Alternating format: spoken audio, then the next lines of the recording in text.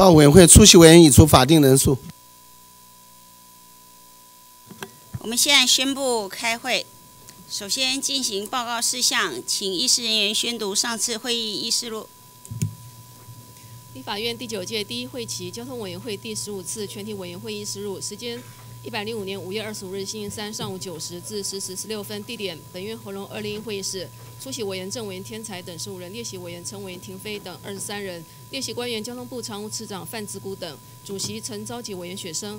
报告事项宣读上次会议事录，决定议事录确定。讨论事项继续备案审查，委员李红军等二十五人拟具铁路法第六十二条及第七十条条文修正草案。委员赵正宇等十九人拟具铁路法第六十五条、第七十条及第七十一条条文修正草案。委员郑丽君等二十六二十九人拟具铁路法第七十一条条文修正草案等三案。决议第六十二条条文一委员李红军等二十五人提案修正通过；第六十五条条文一委员赵振宇等十九人提案修正通过；第七十条条文一委员李红军等二十五人提案通过；第七十一条条文一委员赵振宇等十九人提案及委员郑丽君等二十九人提案修正通过。本案并案审查完竣，拟具审查报告提报院会讨论。院会讨论前不需交由党团协商。院会讨论时由召集委员陈雪生补充说明。散会宣读完毕。好，请问各位委员对议事录有没有意见？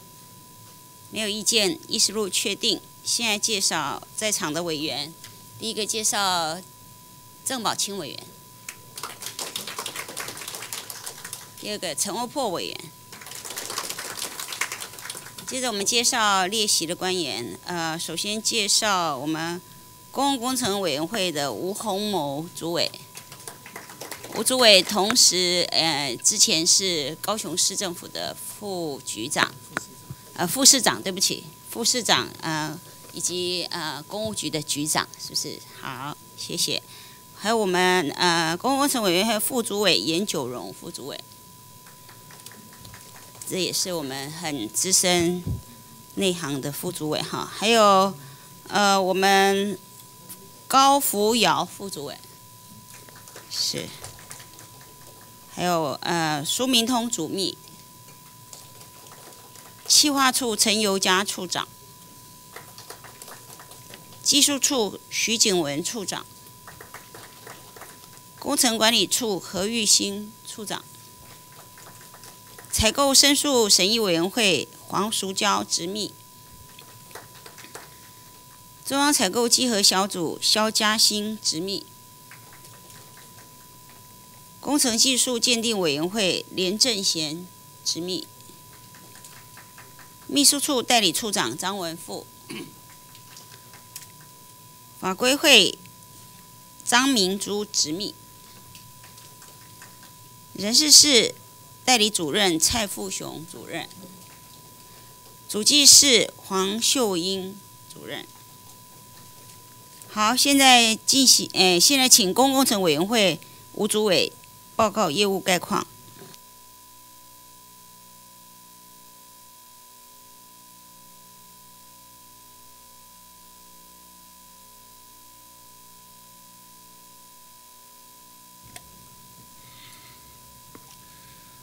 主席、业召集人、啊各位委员、各位女士先生，洪某今天列席贵委员会。向主席及各位委员先进报告公共工程委员会业务，并聆听指教，感到非常荣幸。公共工程委员会为政府采购法、技师法以及工程技术顾问公司管理条例的主管机关。本会成立的主要目的，就是要为公共工程把关，确保公共工程品质。为民众提供更优质的生活环境。因应我们国内外经济发展环境的变迁，本会未来将持续于各项的公共建设中督促各机关掌握进度、提升品质，并从友善创新、保护环境、重视弱势的观点，积极应应产业、社会、环境、人口高龄化等。多面向的需要。以下仅就本会未来政策目标以及本会业务执行情形，向主席及各位委员先进报告，请不吝指教。本会未来的政策目标可分为短期的政策目标跟中长期的政策目标。短期的政策目标一年以内的总共有十二项，一到八项是属于执行面，九到十二项是法制面的检讨。我们在短期的政策目标，第一项就是我们会针对重大公共建设内管追踪执行。主动发现困难，适时协助跨部会的或者通案性的问题，来协助我们国家重要工程建设如期如质完成。第二点是将透过修订品管规定、办理教育训练、施工查核等措施，落实执行公共工程的三级品管制度，以提升我们公共建设的施工品质。第三点就是我们透过创新技术结合整个未来啊统包的宣导，适时的研修纲要规范，来推动公共工程结合科技，鼓励创新，提升我们国家的营建产业技术以及生产力。第四点是为精进机关的公共工程执行效能，我们将妥善运用大数据。还有技术服务团队到全国各机关巡回宣导，提升我们机关作业的效能。另外，我们也可以提供预警的机制。我们预计在一百零六年的四月底以前，会完成我们各地方政府的辅导跟服务。第五项是争取海外建设商机，我们将召开全球化的平台会议，盘点我们。国家具国外竞标能力的团队，开拓海外市场。我们预计在今年年底，我们会先成立五大输出的旗舰团队。第六点是为减少工程履约争议，将推动各机关成立采购审查委员会，协助机关整合内部需求，审查采购策略与采购文件，让参与能够扩大，减少采购的争议。第七点是促进我们营建产业良性的基转，我们将导入生命周期成本采购的策略，将厂商的经验、能力、施工方法、全生命周期成本等项目纳入评选。我们希望未来的公共工程能够挑选到真正优质的、有能力的厂商履约。第八点就是我们在计划跟经费的审议作业部分，我们尽量的。简政便民，我们落实分层负责，我们研修审议作业要点，另外推动基本设计阶段替选方案价值评估作业，我们希望能够节省国家的建设经费。那么第九项、第十项、十一项、十二项，最主要是我们会参酌各界意见，研拟采购法的修正草案，包括合理处理厂商的停权处分。检讨三家投标厂商的加速限制，另外包括利益冲突不得参与政府采购以及例外情形，我们这个会在十一月，今年的十一月、十二月，我们会啊完成。那有草案，我们会先报行政院。那么我们为了应应整个产业的发展，资讯服务及技术服务产业，我们目前。有一些在采购法的适用上，啊，难免啊不能够啊能够回应他们的要求，所以我们预计在八月底前完成支付法的修正，十月底以前完成计付法的办法修正。另外，我们为了要强化资讯服务采购履约管理，研拟修正资讯服务采购契约范本，我们预计在九月底前完成修正。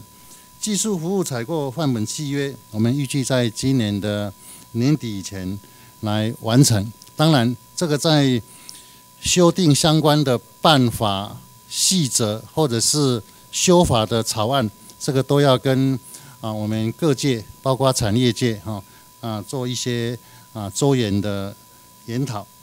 那么第二个就是我们在中期政策目标二到四年，我们。与时俱进，我们希望回应采购机关以及产业界的建议，我们持续的检讨、修正完备政府采购法制。那么，我们希望持续推动国家的重要工程建设，也就是我们国家未来也需要做扩大内需。本会将跨部会的协调整合机制，持续依其程推动国家重要的公共建设。我们希望未来的公共建设能够如期如职，也能够让所有的厂商都能够顺利履约。那么第三点是我们协助推动加入我们跨太平洋伙伴协定 （TPP），还有区域全面经济伙伴关系协定 （RCEP） 的计划，就政府采购议题的工作，我们配合推动加入。哈，那第四点是我们继续的，我们提升机关作为效能，将提供各机关的采购以及工程技术的辅导。我们会在一百零六年底完成中央各部会的巡回服务。第三项是长期的政策目标。那长期的政策目标，基本上我们是希望未来的国家建设。我们能够持续的推动节能减碳、全民友善的公共建设，在基本设计审议阶段就予以要求落实，并督促我们各主管机关研修设计规范，建立人本关怀、友善优质、环境永续的公共建设。那我们希望未来公共工程的品质、进度管理以及专业优良厂商的评价能够法制化。我们希望。未来的采购法在相关的规划修正以及增订的部分，我们会持续来努力。那么第三项是我们提升了公共工程，包括工程顾问以及营建产业竞争力，争取海外商机。我们将结合相关部位筹组我们具竞争力的相关的旗舰团队，像台湾比较有的像。有优势的，包括我们发电、石化啊、ETC 啊等等哈，我们都会结合各跨部会的资源，来强化我们国家的全球啊产业的这个竞争力。那么最后就是我们为了要营造公共合理的公共参与建设环境，本会将持续的精进政府电子采购系统功能，推动电子领标。公开取得、电子报价等创新便民服务，以建构优质的采购环境。那么，在整个公共工程委员会，我们的现在的业务执行情形，我们在一百零五年到五月十九日的预算执行情形，在税入的执行率是百分之八十九，税出的执行率是百分之八十五，也还有在改善的空间。第二个就是我们在改善政府的采购环境，我们相关的这个工程人员的训练，还有包括他们的采购采购专业知识这一部分，我们也都会加强辅导。我们在一百零四年，我们定颁了采购派遣采购契约范本，我们检讨修正政府采购相关的法规及范本。我们让政府采购法的制度啊更为完备合理。另外，我们在鼓励采用最有利标评选优良厂商，我们也提供啊持续的服务。所以我们在一百零四年的资讯服务以及技术服务，使用最有利标的件数跟绝标的金额，都已经超过啊一百零三年。那我们未来，我们希望在工程的采购这一部分，也要。啊，鼓励他们采用啊最有利标。我们在未来的这个采购整体成本最佳化，我们在工程会这边已经在政府公共工程计划以及经费审议的作为要点当中纳入考量全生命周期的成本概念，希望能够作为各机关的采购决策参考。另外，我们要避免厂商剥削劳工薪资，本会的。劳务采购契约范本已经订有劳工薪资、加班费、差旅费、请假等条款，以确保我们劳工的薪资权益。那么就采购争议处理的部分，我们持续的加速处理申诉调解案件，并且办理相关的教育训练，希望能协助机关正确适用法令，提升行政效能以及减少争议。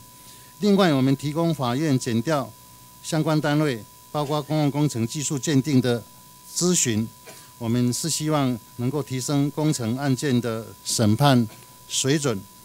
那我们未来在政府的电子化的业务，我们目前啊所做的就是持续的推动电子领标以及共同供应契约网络的订购，并且推动电子领标云端服务以及政府电子采购 APP 会员专区等创新便民服务啊，以利我们厂商能够非常方便的参与政府采购。那我们在最近的三年。每年平均办理的可行性评估审议案件总金额是两百六十四亿，是六十一件。另外，基本设计审议总金额七百三十四亿，那总共是六十八件。在年度先期审议，我们总金额是两千两百七十九亿，那么审议的案件是两百五十九件。那我们。也持续的办理地方政府公共设施的灾后复建工程经费的审议。我们在今年啊零二零六地震灾后复建，我们也核列了一百五十七件，总经费是五亿四千多万元。我们持续的对技师以及工程技术顾问公司管理跟辅导。我们也配合考选部，我们推动，例如像大地技师的分阶段考试薪资，我们。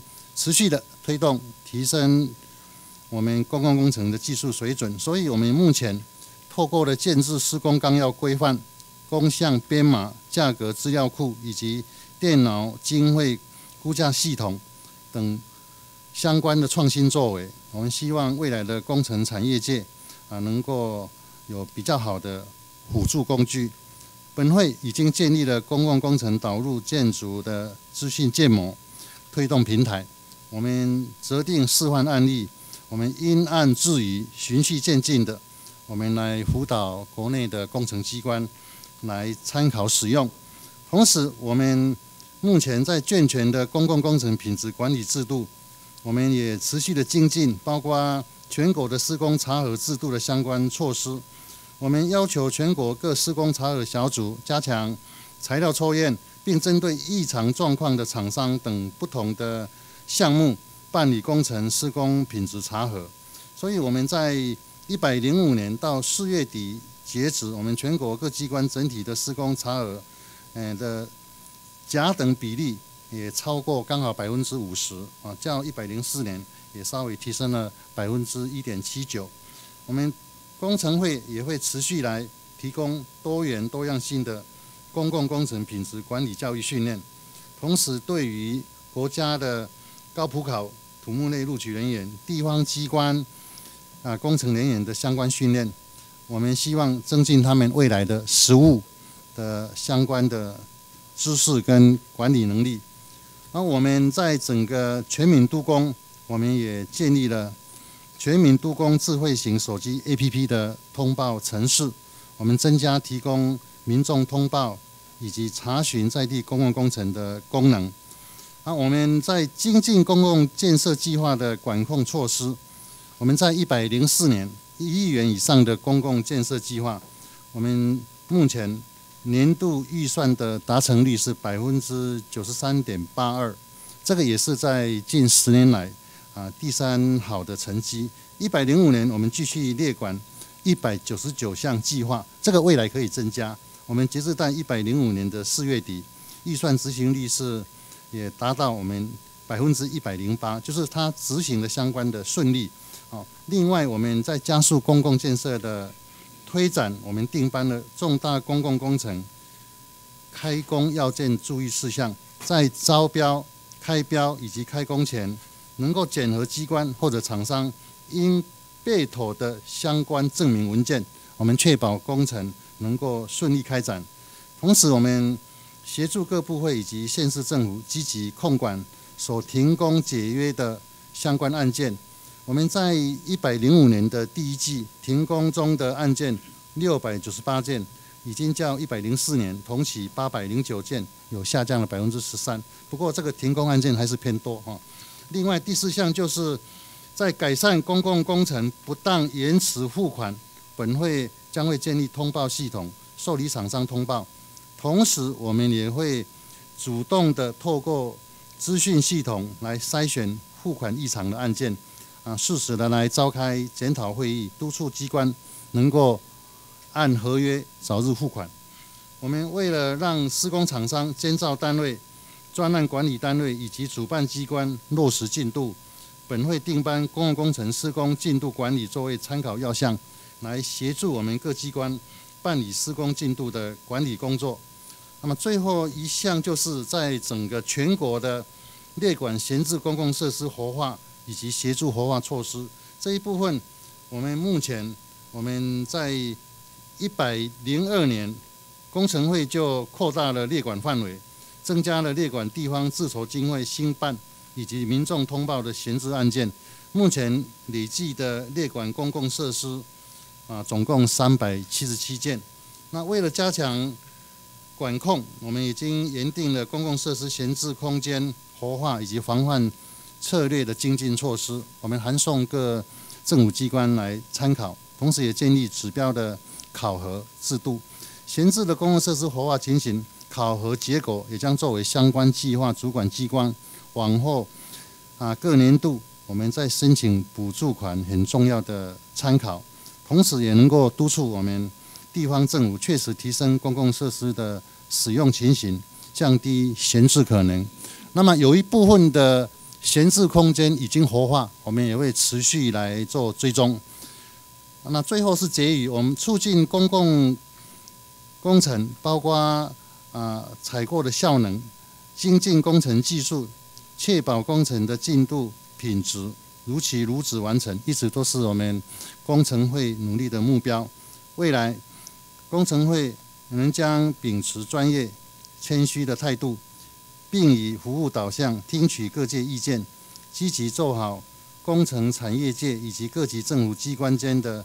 桥梁以及辅导，共同推动公共建设，以提升人民生活环境品质及国家的竞争力。以上报告，敬请主席以及各位委员先进指教，谢谢。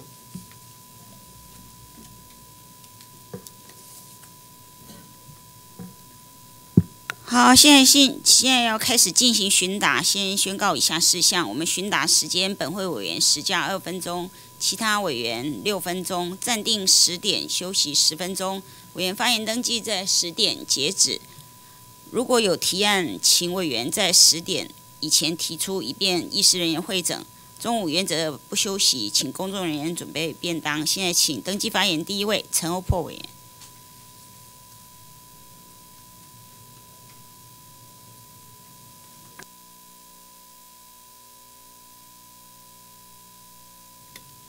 谢谢主席，谢谢主席，请邀请吴主任委员。请吴主委。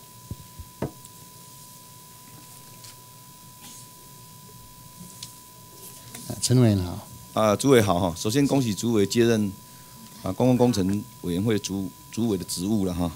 未来将肩负国内各大这个公共工程的督导哈的重大责任。那国人对新政府呢？呃，在各项的改革是期待是非常的深刻的。蔡总统也曾经讲说，这个啊未来的新政府啊，人民之所以选择新政府啊，这个新总统就是希望能够解决问题。啊，这个职务可以讲说确实不轻松了哈。本席对你有所期待哈，虽然公共工程委员会到底什么时候要纳入主改啊，我们现在也不得而知了哈。不过，当一天和尚敲一天钟了哈。那我也期待说，这个呃，国人过去存在对公共工程的印象，比如说这个工期延宕、品质不良、低落、寿命不长，甚至有一些偷工减料的一些种种的状况呢，啊，都能够在你的任内呢，能够啊做一个啊做一个处理的哈。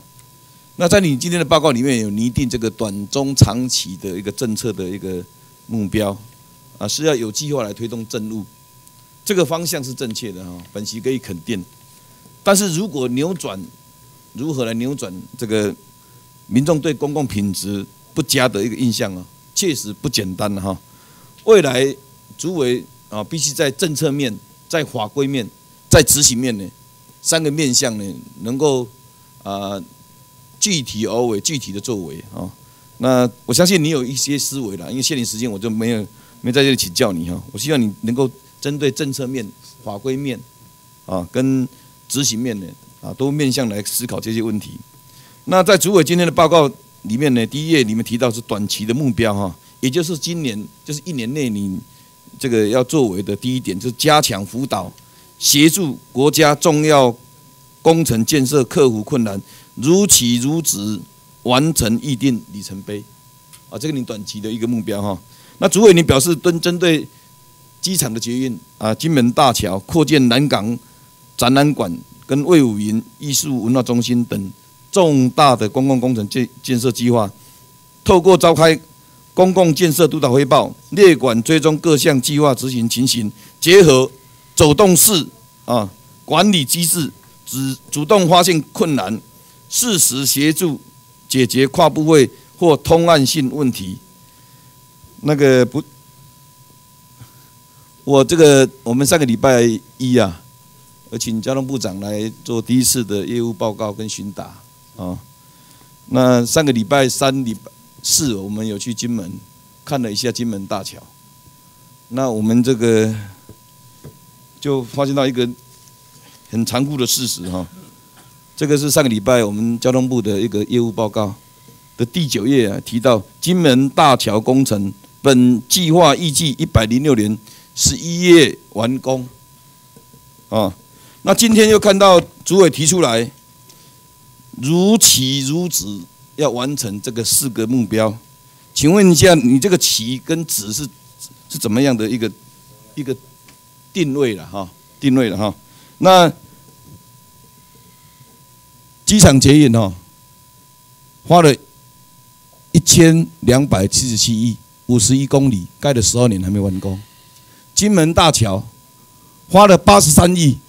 五点四公里，啊，预计明年的十一月完工，结果我们去考察，是一百零九年六月才完工。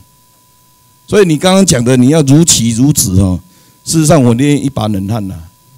那我已经大胆大胆在基本上都讲说，这个这件是贺部长第一件的工程跳票的案子，哇，贺成蛋部长啊，那请问？诸位，你真的有信心可以要求这重大的工程能够如期如职来完成吗？是。啊，谢谢啊，陈委员。我所谓的如期如职，是我们走动式的管理，透过我们的辅导，我们确认他未来的这个要求的进度跟品质之后，我们会列管。那当然，金门大桥目前它是的。发生了进度严重的落后，厂商的施工能力有问题，所以我们这一部分我们会跟交通部，我们也会跟他来做一些所谓的工程部分的一些合作。我们希望他能够很迅速的处理这个问题。为因为现在这个厂商，他如果他的履约能力有问题，可能现在的国工局。现在在主办这个工程的机关，可能要非常迅速的做妥善的处理。那我们会支持我们未来交通部啊所有的一些比较好的作为。是，所以如期如止这个这四个字真的是要好好把它定义清楚了。是是。否则一般民众都认为说啊，你什么时候动工，什么时候该完工，你们都有施工计划嘛，施工期程嘛。对。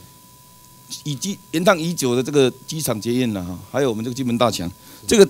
这个二十年前都大家都期待要干盖的，那桃园机这个捷捷运这个哈桃机捷运机场捷运这个部分呢，现在变成国际笑话。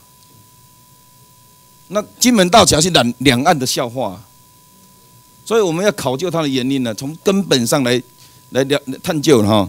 所以我今天也要跟主委哈这个啊一起来探讨这个公共工程的工程一再延宕这些问题的症结。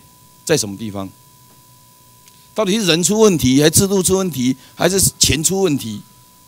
啊，我们把它归类有八个原因哈，那个我们要了解一下哈。第一个就是工程预算编列太低，哦，所以很多工程标了好几次标不出去。第二个，工程多采最低标，刚刚你有提到了，啊，啊，刚刚讲是两千零六年的时候呢，行政院呢做了个决定，以采用最低标为原则，有利标为例外，所以通行各大小机关，大家都采最低标，就有问题了哈。第三个就是需求不明。专业不足，第四个是工程使用年限寿命短，所以很多的工程的品质材料都是有问题的哈。第五个，台湾呢有不当政治力的介入。第六个，政商关系盘根错错节。第七个，剪彩文化压缩工期，对，每到选选举的时候就这样子，哦，大家呢这个这个开支票啊。第八个，建造验收不确实。好，限你时间，我没有办法一一跟跟那个主委哈一一来来来探讨哈。我的今天我几个建议的哈，我们一起来来来来思考了哈。第一个呢哈，我们希望说这个主委上任以后能够协助啊各部会哈早日完成各项重大建设计划。当然在进度之外呢，工程品质要加强查核。你刚刚讲了。手动式或主动式的，过去我们工程会就欠缺这个了。反正你们的列管列管你没有管呐，只有列列表没有列管呐。哦，其实过去我们几个重大工程也有些做的不错，像盐山盐山紫分红紫分红道，过去呢，二零零五年七月就竣工了，这个就是进就还超前。还有我们的高铁三百四十五公里，八年就就不到就完成了。这个是我们工程界的骄傲啊！那现在这几这几年，你刚刚讲那几个几个案子，我觉得这个哈，新政府要有所作为了哈。新政府就是来全力扭转大家对公共工程品质跟工程严当的一个负面的印象。这个如果有信心吗？呃，跟村员报告有信心，而且我会积极推动，包括现在非常欠缺的。一定规模以上的工程，一定要采用最有利标。我们绝对不能够让最低价标一直这样持续下去。这样子，我们整个国家的营建产业，包括新的技术工法才会引进，也才能够泰列择优。对，我想一两千零六年行政院做这个啊这个公文的公公函的一个一个决定哦，希望你能够呈报行政院，通函各县市政府哈。啊，以及各乡镇施工所呢，能够相关单位能够大家来啊调整一下哈。那我再强调一点哈，金门大桥哈，这个已经从这个道上严重落后十八点七二 percent 的一个工程进度。那现在要解约了哈，我们也知道哈，解约呢，啊，我们都认为说这个案子是。因为金门是国家的门户了。那天杨振武委员在讲哈，会让对岸笑死，再做不好会让对岸笑笑死哈。那刚刚你也提到最最低价格标的问题哈，我们希望这个部分啊重新赶快来调整哈。我也希望说这个金门大桥哈，能够在新规定的工期里面能够完工。就算它一百零九年六月完工，我们要如期如如此来完工，不要再再延宕下去了哈。那我也希望说，哈，借这个机会几个讨论呢，采购法的部分，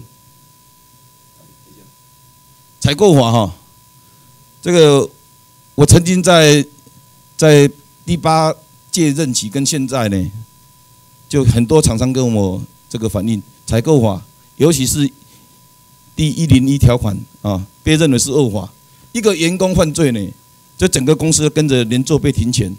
这个完全不符合比例原则，我手上就好几件了哈。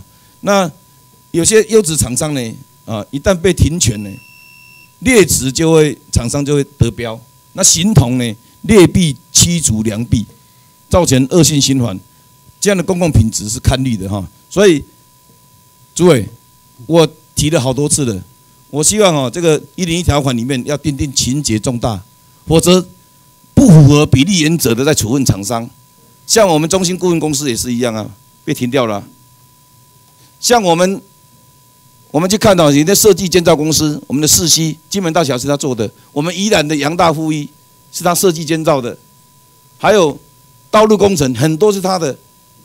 四溪工程顾问公司是我们交通部底下的一个一个国营国营事业公司，所以我希望哈这些我们自己由我们自己革新做起，啊，刚刚提到第八点啊，设计建造问题，啊，最后我也想说啊，跟你这个再探探讨探讨几个问题了哈，就是文资管的问题哈，文资管的问题，还有这个文资管需要活化的问题，我希望啊这些在你任内啊都能够做一些处置哈，现在。我们闲置的公共公设施总共三百七十七件，在你任内好好再盘点一下，啊，该怎么处理啊？该活化该活化，该怎么该该该修管就修管哈，不要再浪费国家资源啊！以上是本席对你的期许，谢谢。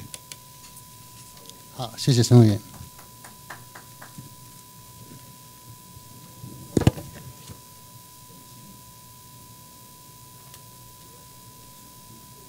你要把握时间做一下，不然要站很久。好，哦，对不起，接着请李坤泽委员咨询。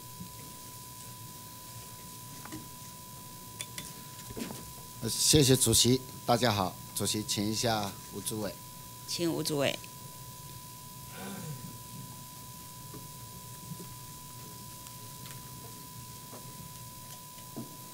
啊，谢谢李委。好，主委您好。每一样的重大的工程，都是由我们最辛苦的劳工，用生命、用汗水啊，所站在第一线努力换来的。那每一位劳工的他的安全，也是我们公共工程重要督导的项目之一。那诸位，昨天发生一件很遗憾的事情，台电大林厂发生重大的公安事件。呃，因架倒塌，造成我们两名的劳工兄弟死亡，五名重伤。这个事情，因为台电大林厂也是属于我们公共工程委员会督导一亿元以上的这样的一个重大的工程。那诸位有了解这个相关的程序吗？他们目前处理的状况是劳动部现在做处理，接下来再由公共工程委员会进行查核，是不是？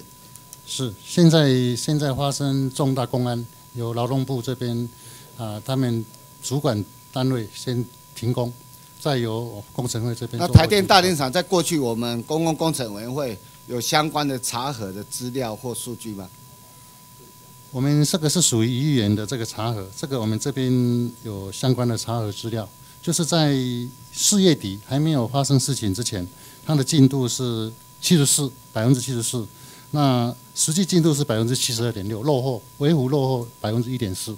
诸位，除了进度的掌控查核之外，我们对于这样的一个劳动的公安啊，必须也要列为查核的一个重要的项目。是，这不是偶发事件的。一百零三年到现在，我们台湾的重大公共工程啊，发生这种职灾的事件啊，已经高达七十七件。而且造成了七十九人的死亡，十五人的受伤，这样严重的一个状况。而且，职业安全卫生法是我们劳工重要的保障的一个基本大法。我们劳动部治安署针对劳动部针对这些重大的公共工程，公共工程委员会所要督导的这些工程，查核之后，检查之后，竟然。发现有高达一万四千零九十八次的这样的一个场次的违规，那项次来讲，更是高达两万一千五百二十二的项次是违法。我们公共工程委员会督导的公共工程啊，实在的状况特别多，违法的状况特别多，视劳工的生命啊于无故。我觉得发生重大的公共工程的这样一个职灾，造成我们劳工兄弟姐妹的死亡或者是受伤，公共工程委员会责任很大。一再发生这样重大的职灾，造成劳工的伤亡，公共工程委员会是帮凶，是共犯。我一再的在公共工程委员会质询的时候，一再的要求，却是一再的发生。这个主委，请简单说明一下，你们有要做如何的督导吗？好，谢谢李委员，我非常认同刚刚李委员的咨询。未来公共工程委员会在督导全国的重大公共工程，会强化公安管理这一部分。我们会非常具体的要求他们，在整个施工的过程当中，虽然它是动态的，但是我们从整体的计划到整个施工的细节。包括对公共安全、公安的要求，我们都会纳入我们重点的集合项目。对这个部分一定要纳入重要的集合项目。而且在这边，我有三点要来请教一下主委，也希望我们公共工程委员会针对这些重大的职灾、劳工的这样一个公安的事件，要提出具体的解决办法。第一，要建立黑名单。这些重大的工程，有很多的工程，有很多的厂商来承揽，但是他在过去就发生屡次的重大公安事件，但是他又能一再的拿到政府的重大公共工程，拿到重大公共工程之后，又一再的发生公安事件，公共工程委员会对这个都没有具体能够。相关的督导吗？应该要建立黑名单，在日后重大的公共工程的时候，这些黑名单的厂商要排除。这个请诸位简单说明一下。呃，谢谢李委员，我也非常认同。我觉得，啊，一个不好的厂商，他在所谓的争议审议的过程当中，他继续的在标我们的公共工程，我觉得这个是不好的。所以，如果将来情节重大的，像发生重大公安的这些啊劣质的厂商，我们会列出一份名单。同时，我们会检讨用资讯揭露的方式。资讯揭露有时候采购机关他不一定会领情，但是我们在辅导，我们希望他用有利标。如果你用有利标评选，他被资讯揭露，他以前有很多的公安的不良记录，我想。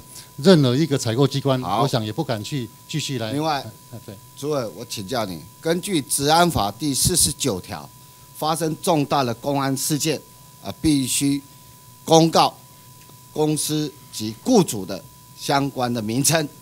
那但是，在于我们的公共工程委员会，我要求也希望能够成立重大公安专区，就是公共工程的重大公安的专区。就针对这些违反重大公安事件的厂商，应该要公告。那在目前，治安署就是劳动部针对职灾、针对这些造成公安事件，它是有公告，但是对于重大公共工程，它并没有公告。那这个部分，我们公共工程委员会应该跟劳动部来建立联络。密切的这样一个建立相关的公安事件的专区，来公告这些重大公共工程的这些职灾的事件。这个，请诸位简单说明一下。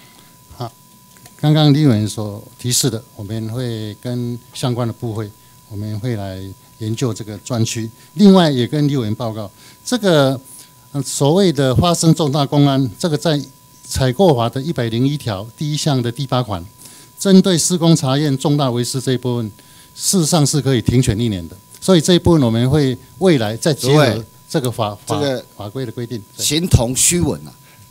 我刚才就已经提醒过你，有很多的厂商，他是一再的发生重大公安事件，但是他却能够以相关的漏洞又取得重大的公共工程，然后又一再的发生公安事件。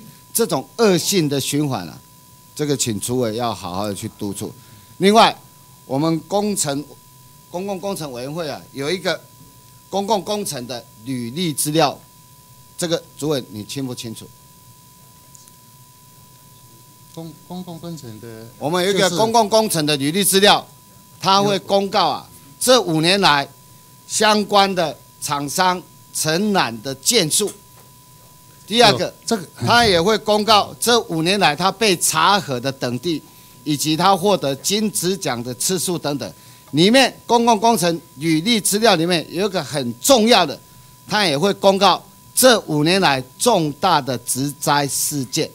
但是这植灾事件呢、他只能用机关账号才能够查询，一般民众是看不到的，因为一般民众他必须啊，他按下去之后只会显示劳动部不同意开放，这个部分主委清楚吗？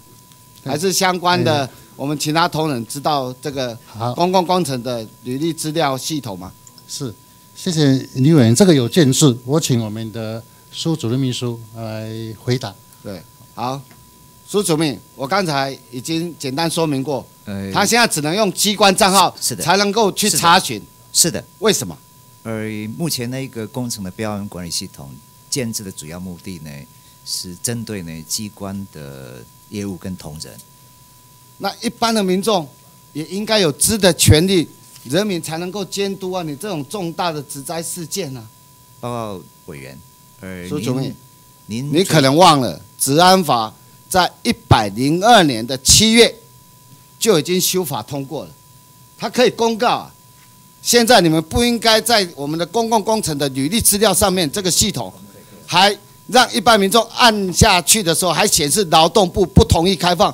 一百零二年七月就已经了、修法通过了。报告委员，诸位我们诸位，第一个黑名单要建立，第二，针对啊重大的公安事件，我们要成立公安事件的专区，公告这些雇主的姓名。第三，我要求啊对公共工程的履历资料系统啊要进行修改。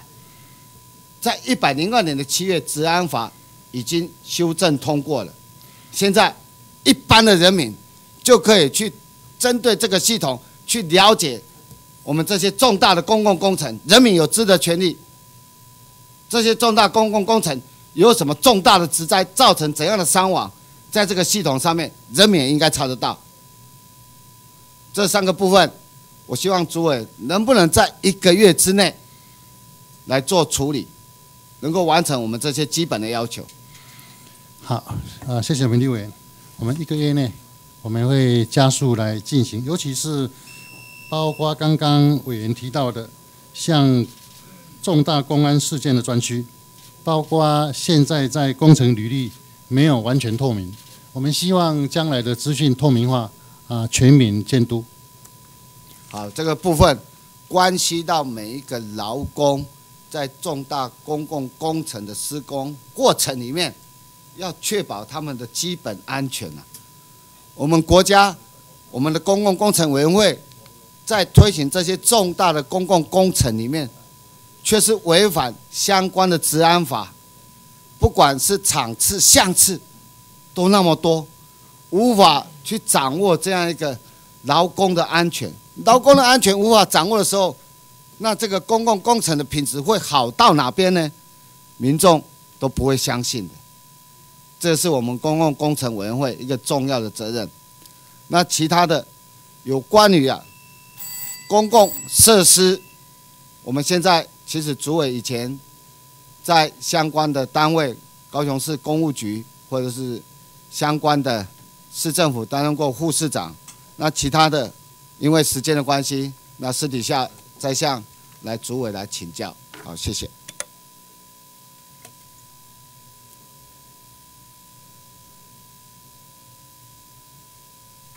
好，我们接着请郑宝清委员咨询。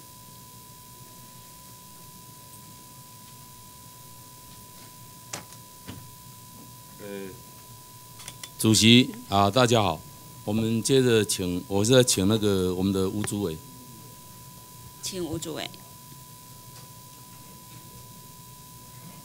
先给你恭喜了哈，恭喜占占掌握这么重要的位置，谢谢郑，那么有谢谢郑委员。位置就是要做事情。啊，刚刚我看到啊，这个你整个报告里面啊，呃，讲的很重要，讲的也非常好，但是说不能够变成行动，那就可惜了哈。如果是言语的技人，行动的侏儒，那么讲的都白讲。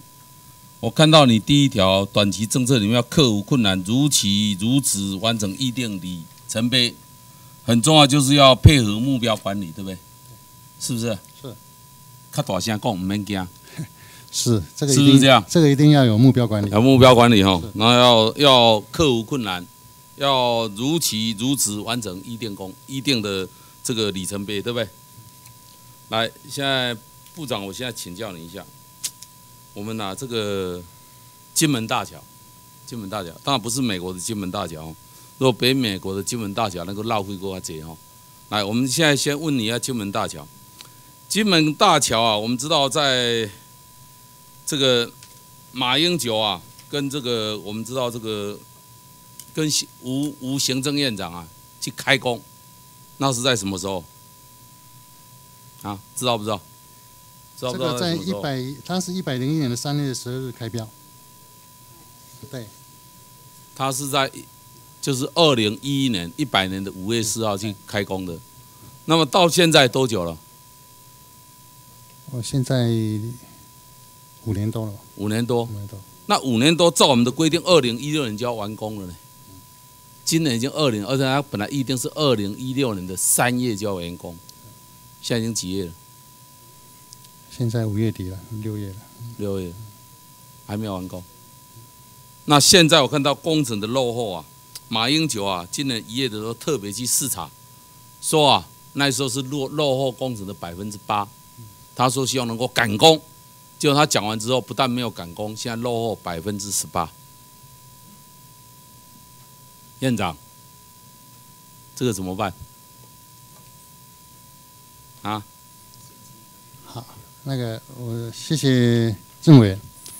金门大桥现在发生施工厂商在履约能力有问题，施工严严重的落后，这一部分我们会要求我们现在的主办工程机关要加速处理。我请教你一下，对这个金门大桥现在是不是变成一个烂摊子？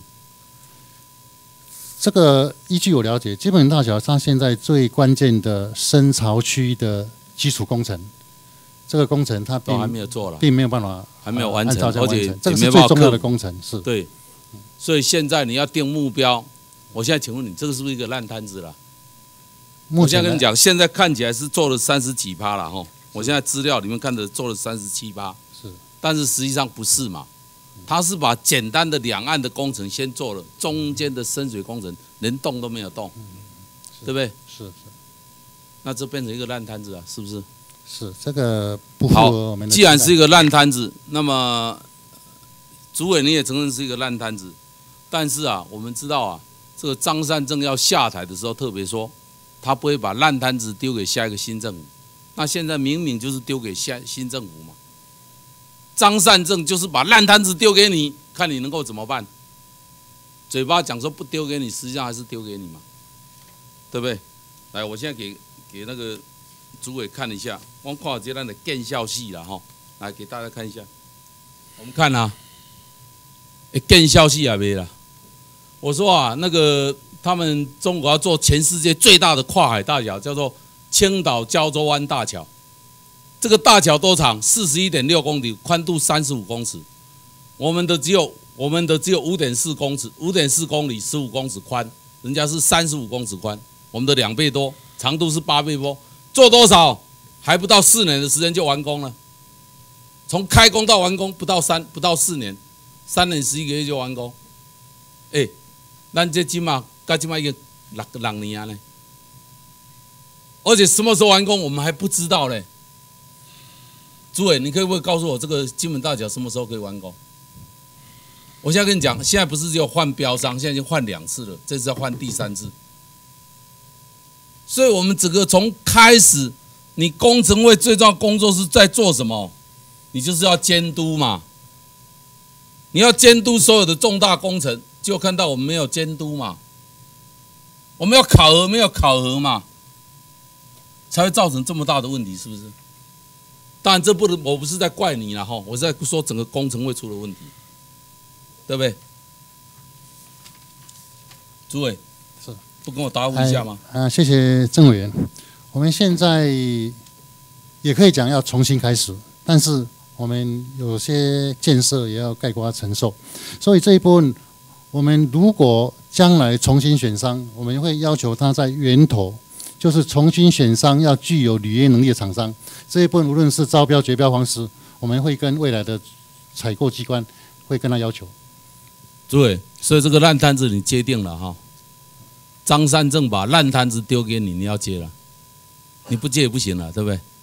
好，来，张三正说张三正讲一套做一套，他讲烂摊子绝不不丢给新政府。来，我看一下，全世界不是只有跟中国比较，跟中国比较那输足济啊，输个黑黑啊啦，跟全世界比较更难看。你看到，哎，杭州湾跨海大桥，全世界第二大的，三十六公里，宽度三十三公尺。多少完成？四年完成。我们看到这个，这个是呃，华赫德啊，不是华赫德国王大桥，这个是在沙地阿拉伯的。他们多少？二十五公里，二十三公尺，五年完成。马来西亚，马来西亚濒危大桥，这是我讲，这是都跨海大桥，十三点五公里。他们的宽度是二十五米到七十五米，多久完成？三年完成。他们从一九八二年开，一九八五年就完完工。哎，马来西亚，所以我们不是比不上中国大陆，连那个马来中国不是比比不上中国而已，连马来西亚、沙特阿拉伯通通比不上。那跟加拿大比也是一样，叫四年、四年、五年完工。我们一个公共工程延宕再延宕，从来没有照目标走过。诸位，这件事情要不要彻底检讨一下？是，谢谢郑委员，这个一定要彻底来去检讨。我刚刚跟郑委员报告的，其实他在工程发生问题，他有非常多的面向，包括采购机关，包括顾问公司，包括营造厂商，这几个环节缺一不可，都要啊，都都目的走在安内嘛。对啊，这嘛的施工，这个都没有在处理，才会发生这种现象嘛。哎，咱这这种臭戏呢？全世界没有一个国家说：“哎，一条五点四公里的跨海大桥，搞了六七年，现在看到的虽然说做三十几趴，后面的六十几趴是重要的，都没有在施工，时间已经整个花掉六年了，对不对？所以咱无得做嘛，五年外无得做，你看人凊彩拢三年、四年、五年，全部拢完成，人伊看四十一公里、三十个公就快。”宽度是我们的两倍多，长度是我们的八倍多。哎，那那工程委员弄那下薪水，大家拢在困来看呢，是不是？都在睡觉呢。你们要负责督导的哪一天完成？来，下面我再请问主委一件事情：桃园机场捷运啊，讲了二十年，我在第三届立法院就开始讲了，就开始招标了，现在已经第九届了，二十年了。哎，公这种全世界的笑话呢，可以申请金世纪录呢。说全世界工程造的最慢的笑话，都在台湾。工程会我们负责督导督导什么？我不知道你们在负责督导督导什么。第二条讲的这么清楚，你们在督导什么了？帅来来，诸位，请问一下，这个啊，你这个现在啊，贺成旦交通部长说，这个。机场捷运要交给你们来成立一个调查委员会，多久会成立？我们调查委员会一个月内成立。一个月内是什么时候算起？一个月内？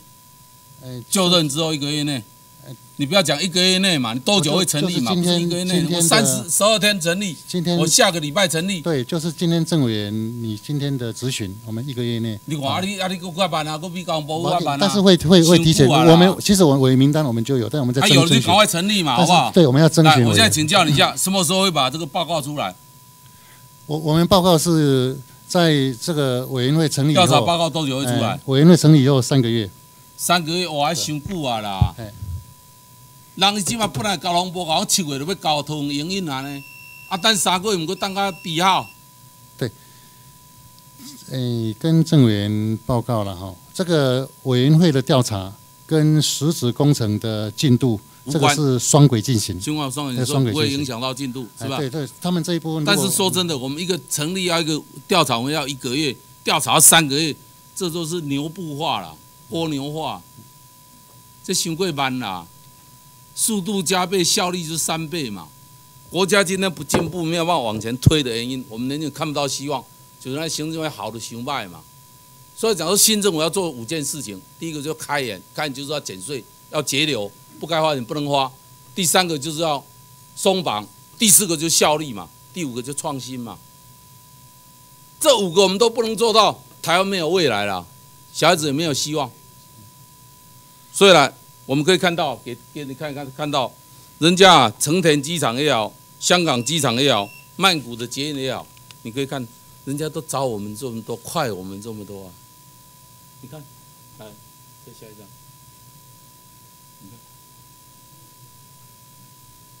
我们永远落在人家的后面嘛，我们怎么会有希望跟未来？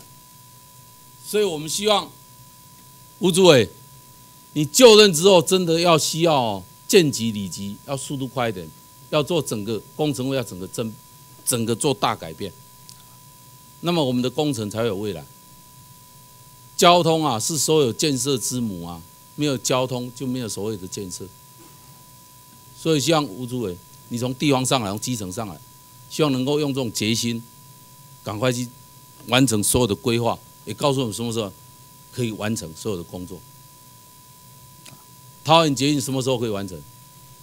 你不知道，桃园桃园捷运它现在机场捷运哎机场捷运嘛，就是机机场捷运，贺成部长他也跟我讲，他他的期待是年底前要让它通车，但是这个有要往前推，所以刚刚政委刚刚的勉励跟提示也非常重要，就是要加速，包括调查委员会，包括调查报告，包括它工程缺失的改善这一部分都要双轨进行。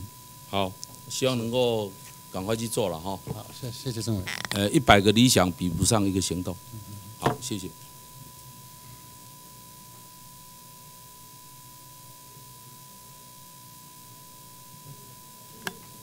好，我们接下来请曾运鹏委员咨询。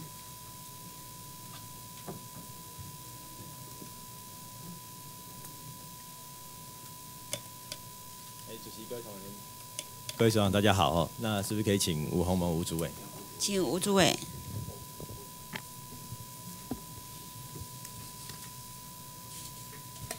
那，谢谢郑委员。哎，主委好，辛苦了哦。那在二十年前有幸当主委您的部署哦，所以今天也很高兴说主委可以荣任我们公共工程会的主委，来跟您请教。主委大概在我们升任主委之前，应该都在高雄市政府服务，是这没有错嘛？您的专长是水工专长，是然后我看报纸媒体上报道说，您的人生哲学是上善如水，跟最那种关黑了哈啊！但是我跟您报告是说，工程会这个工作在督导，真的全国的公共工程如果用到工程会的话，大概就已经圣公黑的杯就当了啦，病入膏肓才需要工程会了，所以不能做好人哦，那要扛起这个督导的业务、督导的责任哦。刚才几位委员也有跟您咨询。但是我对于高雄我们的长官，然后升任不管是各县市或者说是中央哦，我都有信心了、高雄在今年刚得到了我们的总图得到了全球卓越的建设奖，这个主委没错嘛，好，是那也在您的督导之下嘛，您时任副市长，所以我们也希望说这样的品质可以在未来我们民进党执政的八年里面可以看得到，这一点也请主委您多加油。好，那我今天开始我们就开始进入今天主题哦。蔡总统的就职演说，我有看到主委这一块给表，哦，你们是首长区，我们是民意代表区。那总统的就职演说的重点就是这四个字：解决问题哦。那这解决问题，刚才三位委员的咨询里面也提到很多的问题。那我跟主委报告说，如果别人的问题我们没有办法解决，就会变成我们的问题；前朝的问题没有解决，就会变成民进党执政的问题。这一点，主委你有体认吗？有有哈嗯，所以这些身为公共工程委员会的主委，虽然没有在第一线哦，但是解决问题到工程会的时候，就真的要给方案了，就真的要定目标。那就主委您的认知里面，我们现在工程会需要协助行政院的当务之急有哪一些问题？就您现在的了解有哪几大问题？呃，跟郑委员报告哈，就是我们现在有法制面跟执行面。那法制面就是这一些呃修法或者办法的问题。对。另外在执行面就是我们现在列管的，嗯，包括每年一亿元以上两百项的重大公共工程。嗯，啊，那当然这个里面有一些是指标性的工程，嗯但是我们是都是平等对待这些工程，我们会严格要求。那这个里面有很多的工程，我大概也检视过，很多都是严重落后，嗯或者有很多的争议，包括厂商的履约能力不足，嗯，有很多的问题。所以我们这边现在在进行的这个整体的规划，我们希望是从源头开始辅导。就是说现在的公共工程委员会，其实它是从选到厂商以后才选择这个工程去辅导。其实这个有有有些状况它是没有办法处理的。嗯那我们希望说，未来在法制面、在源头，包括每一项的工程采购、采购的规划，包括采购机关它的真正需求，对，要描述的非常清楚。对。第二个，这个厂商怎么样慎选，才能够选到啊有能力的履约厂商？所以我刚刚特别提到的，嗯包括所谓的工程啊，鼓励用最有利标，一定门槛以上。另外，将来的它在有利标评选，它会有一定的弊端，就是评审委员。嗯这个委员，我们将来也会鼓励他们全部透明化。OK，哦，这一部分要有配套，是。所以您的期待就是从制度面来处理，然后甚至可以从源头来处理啊。但是跟您报告一下，刚才几位委员所提到的机场捷运，然后金门大桥，哦，这些其实不是源头了，弄追位啊，甚至北风北才发现说，这个 北风北才发现说，一起一起 play 的人哦是作弊啊，那这个怎么办？现在你要处理当前解决问题，就是为什么它叫问题，就是以前留下来的嘛。所以现在就我的认知啦，刚才主委你很客气哦，没有提到个别的案子，你需要同平等对待。好，我们现在认知上，交通委员会认知现在公共工程最大的问题当然是机场捷运问题啊，当然是机场捷运问题。一千多亿的工程可以延宕六次，总共九百多天，连罚款都 没得罚了哦，那种罚到底了哦。那上个礼拜贺成丹部长他在礼拜一来接受委员会的质询的时候，那他自诩为要做先发投手，那他先发投投手投一个球哦，一个球就是让您来蹲捕或让您来裁判呢、他有提到说要成立一个对于机场捷运独立客观的调查委员会，那这个您知道嘛？哦，刚才我听郑宝清委员在跟您询答的时候，我有听到一个重点哦，您说现在你们已经有名单了，只是还没有开始征询，是不是这样子？那我想请教一下主委，您这个调查委员会，您希望怎么组成？那这些名单可能的专长跟对象有哪一些人？您可不可以说明一下？是对，现在这个名单是还没有完全确认，但是我们跟政委员报告，原则上就是工程会推荐三个，嗯那个桃园市政府推荐三个，嗯交通部推荐三个，但这个九个委员，对，那事实上他在以前的学识跟经验都要有一定的公信力。所以三三三就是了。啊，对对，大概是九个，但是这个因为我们都还没有得到对方的完全同意，所以那主导是工程会，嗯，他是那个交通部，他是希望我们这边来当召集人，交通部他希望说贺成部长直接讲清楚说他们是球员呐、所以他们不兼裁判。所以我也不晓得说贺成部长他对于交通部的角色认知，他是要推荐呢，还是完全尊重你们？所以你目前的规划是交通部有三位，你们有三位。好那这个委员会的组成，您会不会有角色？您身为工程会的主委，你会不会在呃在里面担任召集人？未来我们是请我们的副主任委员来担担任召集人，但是因为这个是一位副主委？啊严副主委，严副主委会担任召集人是是好，那就确认第一个了哈。那哎，副主任没关系，你请坐。那我想请教一下，那其他八位委员，你们有没有分领域专场？有都有，包括机电、土建，包括法律都有。机电、土建跟法律。嗯，对，机电，那你们的目标对象，你们认为到目前为止你们有多少名单？现在除了严副主委之外，还有八个名额嘛？你们有多少人在你们的名单里面？我我们现在就是总共九位，是扣除我们的召集人八位。啊，你有偌济人去进啊呢？还是电脑进？有多少的人才库哦，人才让你选择？对对，人人人才库当然很多了哈，现在也没有办法讲出很具体。我们是嗯希望说，啊、在我们这边，我们本身有一二十个里面，我们挑了三个嗯，啊。但是在交通部跟桃园市政府这边，他们是用多少人挑出来建议的？他们推荐的名单也给你们了吗？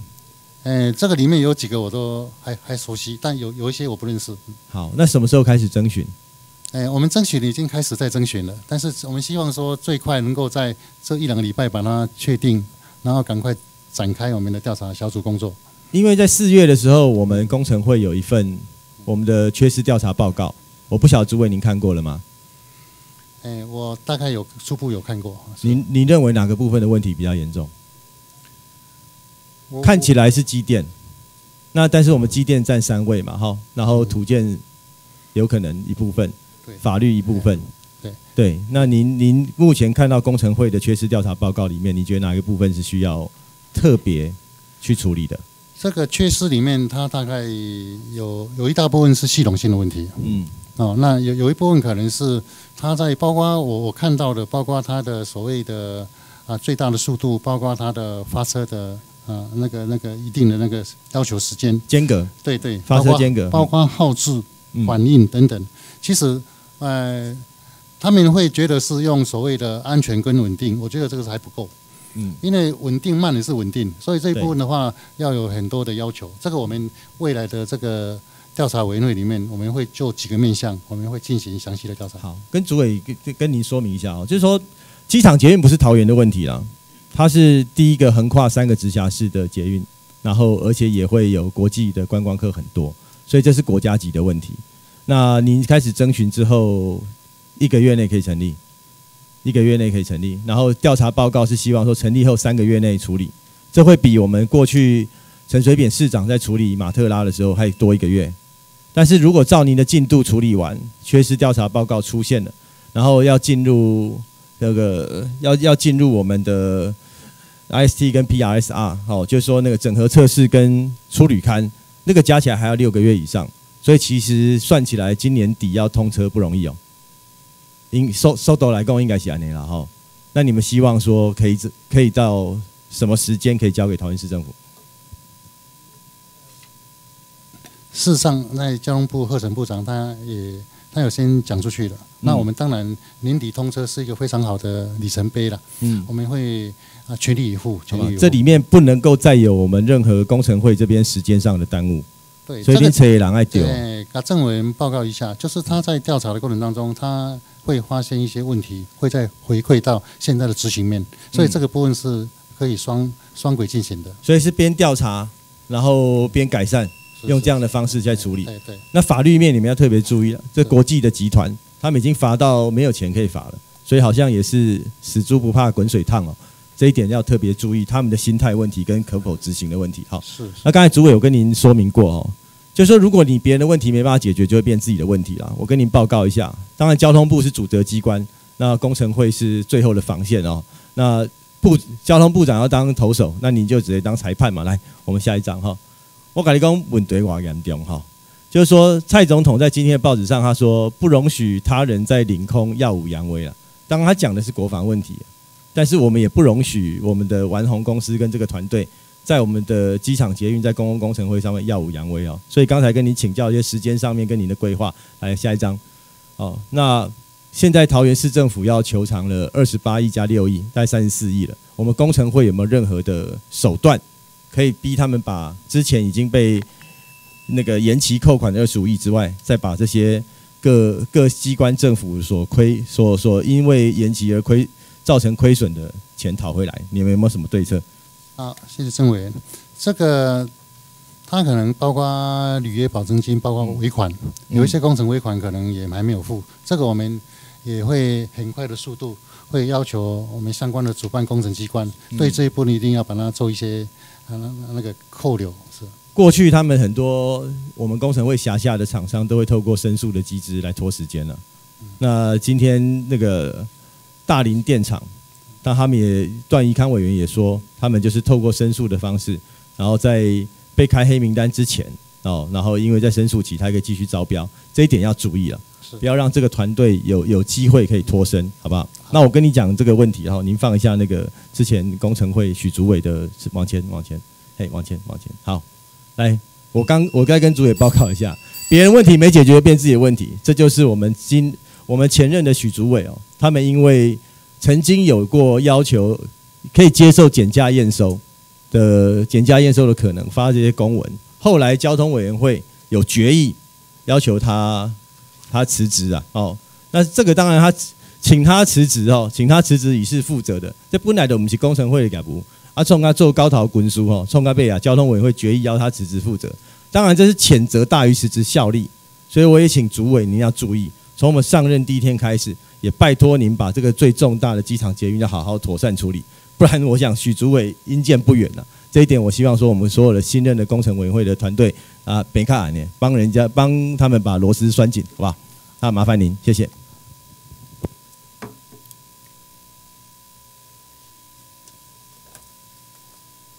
报告主委跟郑委员哈，王宏，我们还没有罚到底。事实上，我们收到的罚金呢远远不足啊，这个副主委很清楚哈，所以执行很重要，不然这些厂商还是觉得他可以拖，甚至他可以赖皮啊。好，我们现在休息五分钟。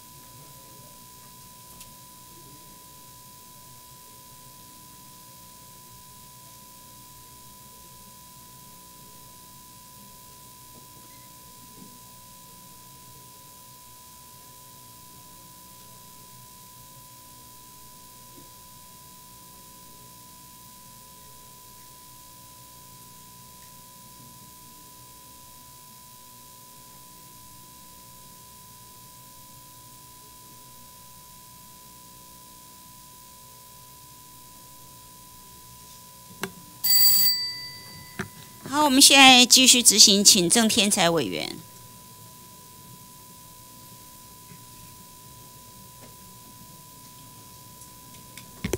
呃，主席、各位委员，啊、有请吴主委。请吴主委。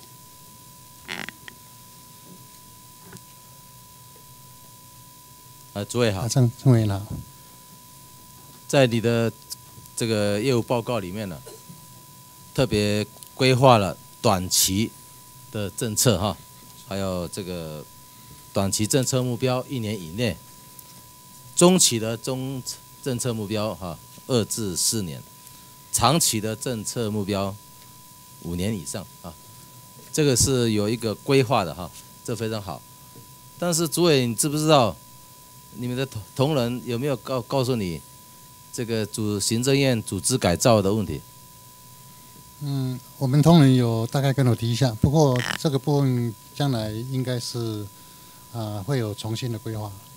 会有重新的。是呃，所谓的从，因为现在的行政院组织法啊，也就是九十九年公布施行的行政院组织法，已经没有这个所谓的公共工程委员会。你所谓的重新规划是会再重新把公共工程委员会还会继续存在，是不是这个意思？对，这这个未来他们还要再做一些讨论啊，这个会会有重新的规划。呃，所以还有讨论的空间，是不是？对对。好，啊，如果是这样的话，这个那我理解哈。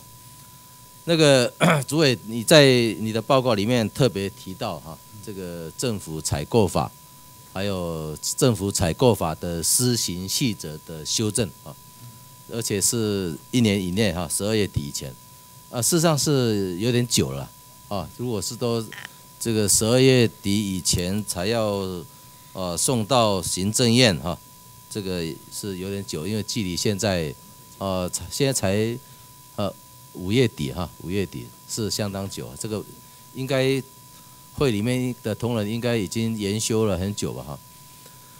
这个政府采购法第二十二条啊，啊第二十二条的第一项的第十二款呢，特别规定了。机关办理公告金额以上之采购，啊，如果是购买原住民啊身心障碍啊，或是原住民族的团体，或是身心障碍的团体所提供的非盈利产品或者是劳务啊，得采限制性招标啊。这个法刚公布施行的时候啊。当时公共工程委员会跟中央的研明会，啊，特别去就中央相关的部会，能够怎么样能够就劳务的部分呢，啊，能够给原住民啊这个采限制性招标的方式，那是刚开始施行的时候，还蛮有成效了。但是这几年来哈，好多年来不是这几年而已，好多年来。最起码，这个中央的相关部会这么多的劳务采购，或者是购买相关的这些原住民族的这些非盈利的产品啊，这样的一个非常非常的几乎没有，不然的话，你你你们能不能说出有这样的案例吗？你同仁有吗？哎，我跟郑委员报告一下，这边的统计是一百年到一百零四年，在中央各部会是六十八件。那金额是一点一亿元，还是偏偏少？对，还偏低了哈。所以这个部分呢，就请这个主委哈，你来自高雄嘛哈，这个你记不记得谢长廷呢担任市长的时候，虽然政府采购法啊是规定这个德标厂商啊百分之一要禁用原住民的。但是这个谢长廷担任市长的时候，他比政府采购法百分之一还多，就他就是要解决原住民的失业的问题，要提高原住民的一个失那个就业的机会，所以这这个你知道吗？你在高雄市知道这个事情吗？我知道，县长他也很关心原住民啊相关的这个福利。对他，他是透过这个招标的时候，在招标的文件里面就要求，要求得标厂商，啊，那个比百分之一还高的一个一个比例，啊，你比较高的话，就还可以给你这个呃奖励之类的哈，这个部分呢，所以请这个吴是那个主委哈，把这个模式哈带到这个公共工程委员会，在研修这个政府采购法的时候，能够把它列入考量啊，因为现在政府采购法第九十八条那个部分啊，也也很久了嘛啊，这个这么多年来啊，也该该怎么样去？因为毕竟原住民的失业率啊，仍然是比一般的啊来得高，是不是可以朝这个方向来来来来来是？我觉得郑委员这个构想非常好。我们在各县市的巡回啊服务，我们会在这个概念啊告诉我们很多的啊采购机关，尤其是很多的采购，它事实上原民来做会比一般人还更适合，尤其是他在地，而且他在对于所谓的山坡，包括很多的这个整个地形地貌，他非常的熟悉，所以很多的采购事实上是原住民来做更有效率更好，我我很认同。呃，事实上，现在这个原住民的人口的流动哈，像高雄市也很多，不是只有那个那三个三个区啊，不是只有南马夏、啊茂林，还有桃园，在这个都会区啊也很多。哦，像这个桃园哦，我们今天这个交通委员会桃园的特别多，桃园呢已经是原住民的所有直辖市县市里面。第三多人口的，啊，花莲、台东，接下来就是桃园，接下来就是新北市，所以这整个在都会区啊，原住民的人口数非常非常的多，而大部分的就是这些从事啊这些啊工程这方面的一个工作哈，啊，所以怎么样去在研修这个政府采购法的时候，啊，能够把这样的一个啊过去在啊，高雄市你自己也也也实际有参与哈，有这样的一个经验，哈，能够成为一个啊法律哈，啊，能够做一个非常好的一个规划哈。当然就是 有的是需要去去协调，啊，有的是需要去协调相关的部会，哦，刚刚讲的这个二十二条这个，哦，这个金额才一亿多嘛，而且是这么多年，你是从你哪一年开始算？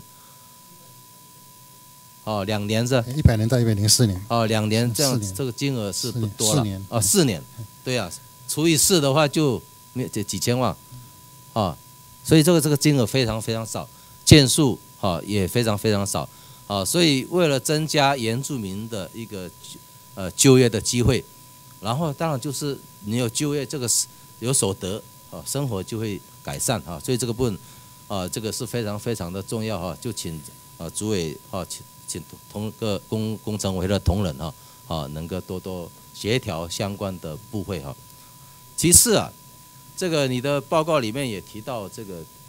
本来公共工程委员会就要做的哈，也一直都在做，啊，也就是地方政府的公共工程啊，尤其是这个灾害，啊，灾害的一个灾害准备金啊，都要经过公公公工程委员会的一个呃协助来来审议哈。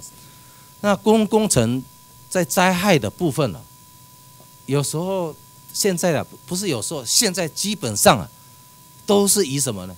有发生这个台风啊，重大的一个啊灾害的时候，哦、才会去考考虑这个灾害准备金的一个支应。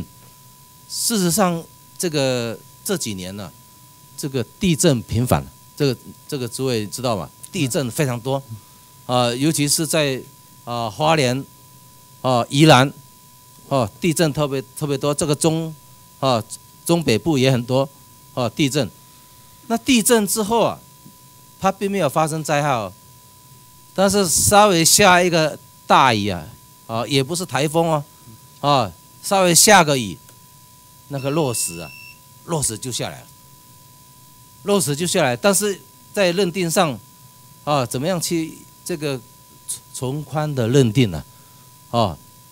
因为有时候通常所谓的灾害防救法哈、哦，都会以那个作为一个指标了，啊，事实上，呃，也没有那么严，在文字上也没有那么的一个严谨了，啊，所以应该可以从宽，我，我觉得是可以，呃，我建议这个工程会这边呢，哦，能够多考量这方面，就是说他只要因为落实，啊，不，因为落实嘛，这既然会有落实，一定是，啊，不是虽然不是很大的台风，哦，很很不是很大的雨，但是必然毕竟是落实。是不是就可以啊？因为地震，然后因为一小一场小雨，它就有落实，就可以提拨到灾害准备金啊，诸位。好，谢谢郑委。我们会依照它的因果关系，会来做专业的判断。那所以这一部分的话，很多的灾害它不是立即发生，它可能有一段时间才啊凸显出来。啊，所以这一部分我们会要求我们同仁在进行所谓的灾防工程的审查。这一波你一定要特别的注意，是。主委，你这个答复就非常好，啊，毕竟你在地方地方政府服务过哈，这个都去过吧？那个那几个高雄的那几个原住民区都去过吧？都去过，都都去过，都去过嘛。啊，何况这个这个也有很多迁居到这个，呃，因为有很多的新的，因为一呃，那那叫那时候是因为，呃。八八风灾嘛，哈，呃，也都到了这个新的一个社区，哦，所以你接触很多，哦，所以这方面你就比较能够很快的，哦，能够有这样的一个同理心了，哈，同理心，啊，所以期盼哈，我们的公共工程委员会所有的同仁呢，哦，要有这样的一个呃一个理念，啊，针对地方，因为毕竟地方政府啊，尤其是啊，尤其很多都这个高雄市的财政还算不错的了，啊。像这个很多像屏东，啊，这个台东、花莲，啊，这些财政，哦，你要让他们去自己去去用一般的经费是没有的哈，所以就一直摆在那边，啊，就造成很多的一个呃这些呃不管行的安全啊，这些这些问题都是一个非常啊有严重的部分了，啊，特别请这个主委哈，啊，以及尤其是我们呃所有的工工工工程委员会的同仁哈，啊，能不能够特别能够予以从宽办理，啊，好，谢谢。好，谢谢郑委员。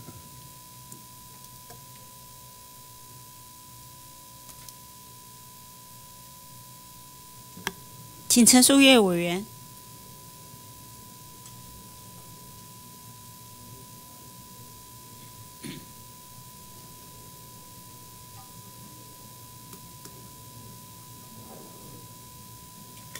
谢谢主席，请主席邀请吴主委，请吴主委。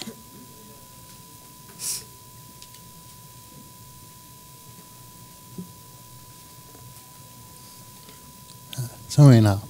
啊，主委早哈。呃，主委，今天在质询之前哈，本席有先了解了一下你的背景资料了哈。那刚刚休息也稍微跟你聊了两句，知道您。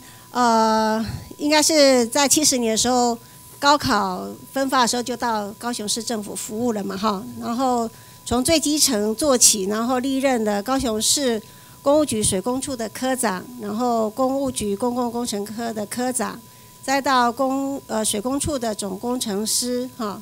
然后水工处处长，然后水公务局的局长，然后之后就是高升副市长嘛，哈。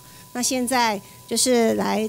担任这个公共工程委员会的主委，从你的经历看来，哈，应该是实务经验非常的丰富，所以我们也相信说，以你的经验，啊，来担任呃公共工程委员会主委这个位置，相信能够发挥所长了，哈，啊，那我们也知道说，嗯，这个公共工程委员会组织条例里面，呃，第二条就有明文规定。中央政府办理执行哈这个行政院列管的公共工程，工程会有指示监督之权哈。那但是对工程的品质跟防弊的强度，其实呃目前看来是很难兼顾啦。好，相信说以吴主委您在呃这个工程界，好你参与过的这个工程无数嘛哈。那相信对这个工程呃整个发包的过程或执行的过程，应该。呃，身经百战哈，熟悉度应该很高。那对于工程界，就是说这个政府在发包过程所遭遇的一些状况，应该都很清楚吧哈。我列举几个状况了哈，比如包括说有这个一案公司的，哈这种厂商，哦就是类似我们呃最近发生的这个台铁花莲车站后站呃电扶梯的这个事件，你知道吗？好，这个承包的厂商我们刚刚了解起来就是那个赛洛瓦公司嘛。那做完这个案子之后就消失不见了，好，这个一案公司这种状况嘛，好，然后也有那种，呃，是不是这种我不晓得怎么定义哈，就是，呃，用不同的呃这个名义去成立公司，比如说太太成立一家，先生成立一家，好，可能他的小舅子也成立一家，好，然后公司的地址可能就是在楼上楼下，好，可能也是在隔壁而已哈，这种。这种公司了哈，然后也有这个呃低价抢标的状况嘛哈，然后也有得标之后转包的，呃转包给各各个不同的下游厂商的这种状况嘛。大概工程就是说在这个工程的呃发包进行当中，大概有这些状况嘛，对不对？那这些状况呃其实对工程的嗯品质或者是完工的这个呃进度都有很大的影响哈。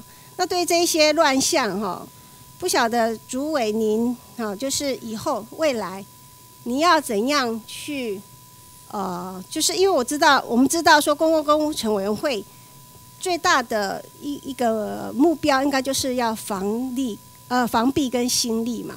好，相信这个也是新政府未来要面临的一个重大的一个课题。那你要如何就是就您的实务经验好来解决？好，预防这一些乱象，是不是？请主委说一下。啊，谢谢陈委员。刚刚陈委员的这个勉励哈跟提示非常重要。台湾长期以来在公共工程，包括很多的建设，我刚刚也特别也在很多委员的咨询当中有提到，其实是比较偏向于做所谓的最低价标，就是用价钱唯一去考量整个选择厂商，所以永远选择不到。比较优质的、有能力的好厂商，当然这个里面也有好厂商，但是大部分的厂商都可以利用这个机会，用价钱来取得优胜。所以这一部分我们现在已经积极在推动，包括所有的重大工程、一定规模以上的，一定鼓励他用有利标。同时，我们也会做一些配套。如果你这个机关不做有利标评选，你用最低价标，我就加强稽核。另外，包括有利标比较有流弊的，就是委员。这个委员我们会鼓励他全部都公开透明，因为委员公开透明，他会珍惜他的声誉。好，所以这一部分我们很多的配套，我们都会加强来进行。那么我们有责任，哦，包括我们刚刚陈委员特别提到的，防弊跟新力要同时兼顾，而且要有开创性。所以这一部分的话，我们希望未来的台湾营建环境，将来是好厂商能够出头天。能够汰劣择优，这样子我们整体的国家的营建竞争力才会提升。对，好，谢谢主委哈。那我们从呃这一次呃我们工程会提供的这个业务报告里面，我们有看到，就是说未来工程会在长期目标哈政策目标里面有提到，就是说要针对专业的优良厂商建立这个专业优良厂商的评价制度嘛哈。啊，有定班这个公共工程施工厂商履约情形的计分要点，那目前是已经累积到两万三千呃五百九十三笔嘛哈，那目前你们是预计累积到五万笔的时候才要开放呃机关查询使用，好，那我们也知道说，像其实邻近的国家像日本哈，他们很早就有建立这个公示成绩评定的要领哈，那。新加坡也在呃一九八九年就已经推动了工程施工品质的评鉴系统，那香港也在一九九零年就有推动了这个成绩评估计分的系统哈，都是类似的一个制度嘛哈。其实呃就是说从你们呃想要朝这个方向去努力，这个本席是予以肯定的了哈。那目前我们施工厂商履约情形的计分制度呃还没有公开给这个厂商得知嘛哈。那适用的计分方式。相信大部分的厂商也都还还不能够得知，所以我们是不是呃，就是说未来呃，在这个就是要提供给各机关利用计分资料作为选商呃查核的一个参考哈，我们是不是也要让这个施工厂商能够知道这个计分的一个方式跟资料。是，谢谢陈委员。这个我们一定要让很多厂商知道我们未来的制度，而且这个整个制度，我们希望各各采购机关在使用的时候，它搭配我们刚刚所谓的啊有立标评选啊，用公开透明的方式来进行。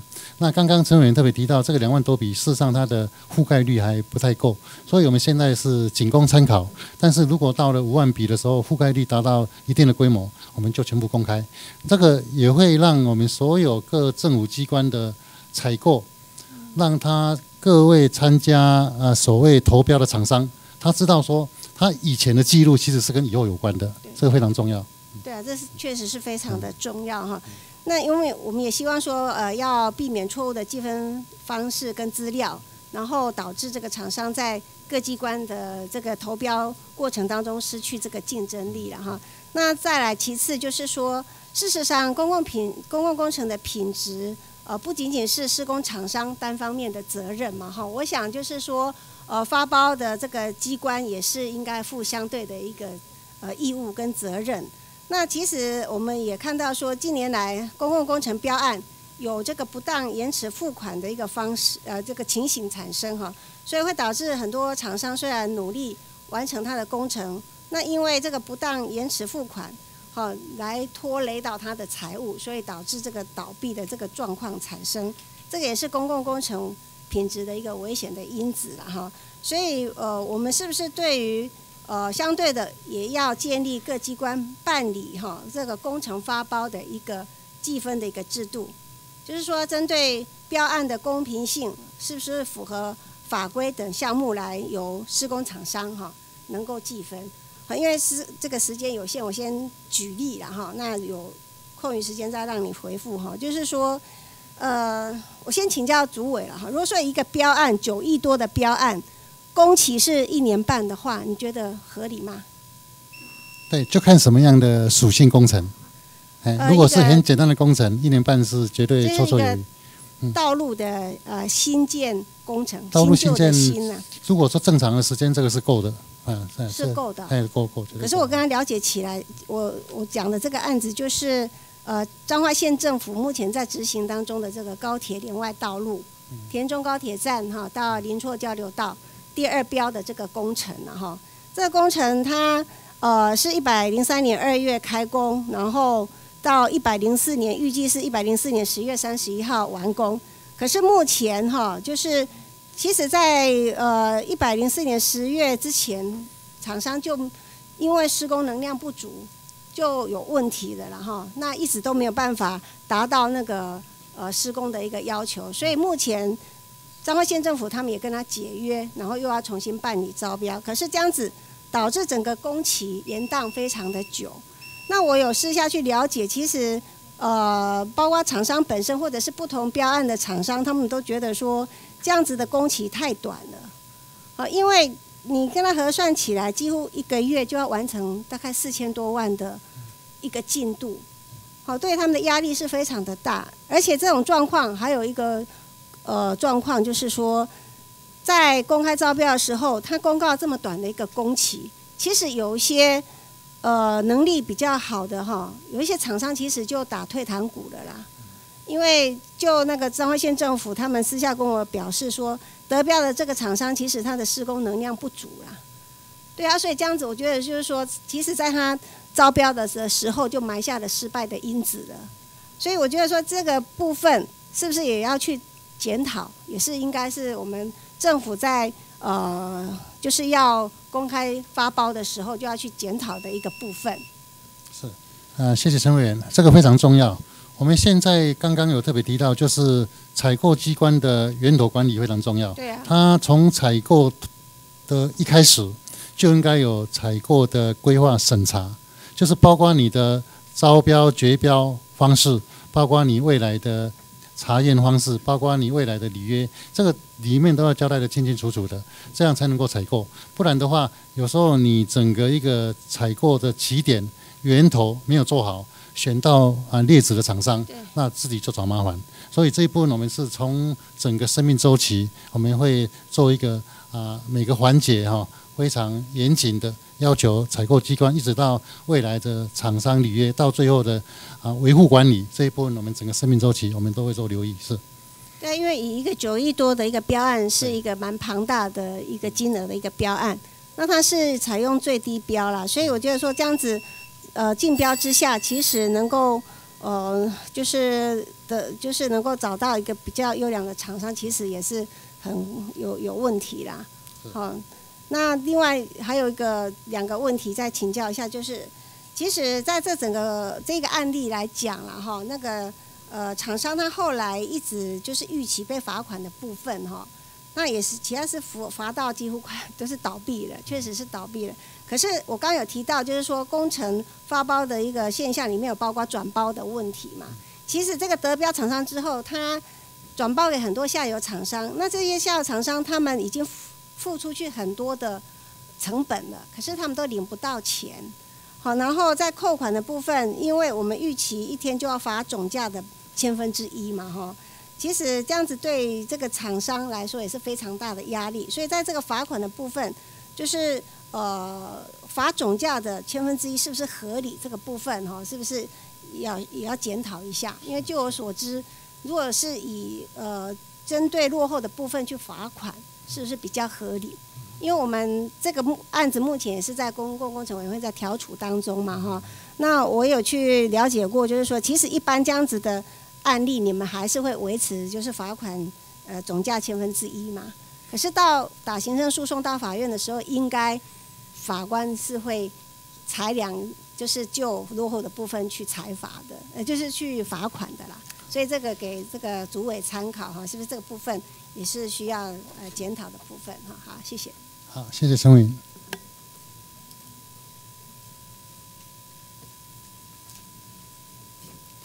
好，我们接着请赵正宇委员咨询。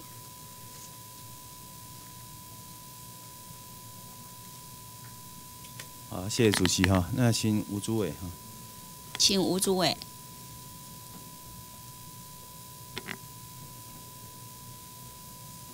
呃，朱委长，啊，赵委员长，嗯，你觉得一般老百姓对那个公共工程的品质的印象是什么？一般的民众啊，我们的民众哈，对公共工程当然包饼都有，哎，大部分人都认为什么工程延宕啊、偷工减料，有没有？刚才很多委员讲啊，或是寿命不长、品质低落嘛，哈，是，这个就像我们去您去买房子一样哈，那个你会觉得，哎，这个建商的声誉不错。他盖的房子可能比较好，哦，这个建商的的那个名声呢比较不好，我可能不会去买。哦，这个公共工程，我觉得就像一个建商盖房子一样哈，它的品质啊要求是非常重要的哈。你让老百姓认为是公家做的东西啊都是不好的东西，我觉得这个对我们公工程委员会哈，还有我们公家是一个打击非常大，一个名声非常不好的哈。我觉得应该要。现在时代在进步，我们应该也要跟着进步。我们的公工程品质一定要更好，让老百姓认为说，哎，这公家做的东西绝对没有问题，我们可以放心的去使用。好，那几个重大的工程，为什么民众对这个印象不好？我觉得你要去扭转这个他民众的那个心理哈。就像刚刚很多人讲，我们的工程预算偏低啊，还有我们的工程呢都采最低标嘛哈。然后还有我们的那个需求不明，还有专业不足。这个专业不足哦，我觉得跟建议一下，很多部会啊，或是一些单位啊，它不是工程底的哈，那它的去发包这些工程的时候，它大概不都委外嘛，啊，委外设计啊，委外监造啊，有没有？到最后啊，怎么盖好的，怎么弄好的，我看他都搞不大清楚，而有事就推给人家。我觉得这个公共工程委员会，如果是我们其他部分没有这个公益那个公共工程专才的时候，你一定要特别的去监督这个，那协助他们。好，协助他们去办理这些重大的一些它的建设，哈，这个非常重要。还有工程使使用的寿命很短，我想一般我们的工程大部分都说，哎，我几年保固，一年、五年、三年、两年都有嘛，哈，看东西，可是没有，从来没有一个使用的年限，有没有？比如说我这个可以用五十年、一百年，我觉得这个好像都从来没有在我们标案里面产生哦，我就觉得哈非常重要哈。我们现在新政府应该不会再配合我们的剪彩吧，把那时间来缩短了。应该不会了吧？哈，这个是以前古时候，就像我们你在基层待过，也待待过市政府，很多首长、乡镇市首长还是一些他喜欢那个落款呢、写他名字。这个为了他的那个任期可能快到了哈，赶快去落款了，赶快加紧赶工啊！我觉得，这个我们现在一般看不到，已经有这种状况了哈，已经改善了哈。就像那个我们那个大陆的朋友来来我们台湾来观光的时候，哎，你们这些怎么那么多伟人挂名字挂在那个上面？桥上面也有啊，这天桥上面也有哈，马路也有，公园也有，每个都有。他说，哎，这些人还在，我说还在，啊，奇怪，我们那是伟人走的时候才挂这个名字。我觉得这个时代要改哈。再讲到我们那个，你刚才讲最有利标嘛，对不对？是啊，你觉得最低标不好吗？最低价标如果工程规模比较少、很单纯的，事实上是很容易做的，当然也不排除。讲你讲对了哈，这个工程单位它的单价比较少的时候，要最有利标。那你认为我们的机场捷运还有金门大桥，它是最有利标吗？它还是最低标它是最低价标出问题了。都是两个都是吗？最低标呃？两个都是最低价标吗那个环虹跟那个金门大桥，我我现在的资料看都是。好，我为什么要讲这个东西哈？这个最有利标，尤其是我们的基层单位啊，他那个委员呐、我想刚才你有那个主委有讲过，要公布这些委员哦，这是非常好的。一般老百姓都搞不清楚是哪些委员，这一定要公布出来哈，哪些委员哈。还有就是说，他的委员成成员里面啊，自己单位里面不能超过二分之一。我想这个都有比例的嘛哈，一定有。那我常常看了他们这个比例哈，好像都是自己在那边有没有内做？那反而最有利标哈，它盖出来的工程品质是非常差的，而且花最多钱。那我认为，就像主委讲的，这个我们价格低的时候，或是那个采购金额不大的时候啊，这个一定要最有利标哈。那你用那个评选的，我也碰过，最近碰过我们的公共工程哦，有用评选的哈，得标厂商哈发给中包，中包发给小包，结果中包和小包领不到大包的钱，跑来我服务处找我说要协调，开开协调会，我立法委员就可以开这个，这个怎么会有这种状况呢？是不是？你公家单位发包出去，你要去协调这个问题啊，是不是？我民意代表可以去介入这个问题吗？是不是？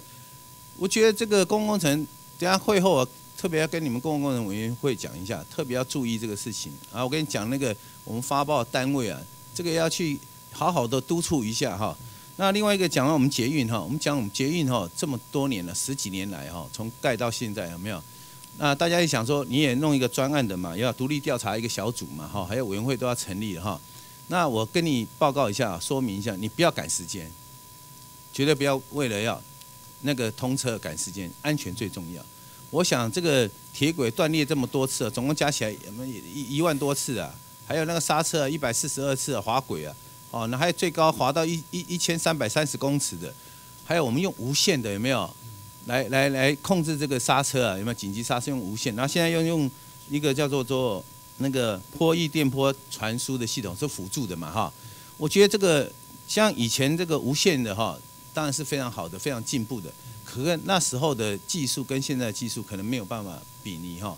那可能是现在的技术可能会比较好一点。那完红公司现在又罚了二十五亿，加起来连连那个罚金哦，刚才我们其他委员也讲了、呃，超过三十亿啦，那他怎么有利润？他怎么会去做这些事情？这也是我们公共工程委员会啊特别要注意的事情。讲了那么多，就是贵单位啊是非常重要的单位。为什么非常重要？我们很多工程呢、都要靠你。哦，那我这边还有一个最基本的一个铺设沥青的工程，这个我从做民意代表到现在哈，我特别重视这个哈。这个这个就是我们上次地震哦，那个。我们熊本哦，地震的时候，你看人家的厚度多厚，马路啊，我不是叫你看地震状况啊，我是看你给你看那马路的那个人家铺设加封的的的那个厚度啊，有没有？再来一张。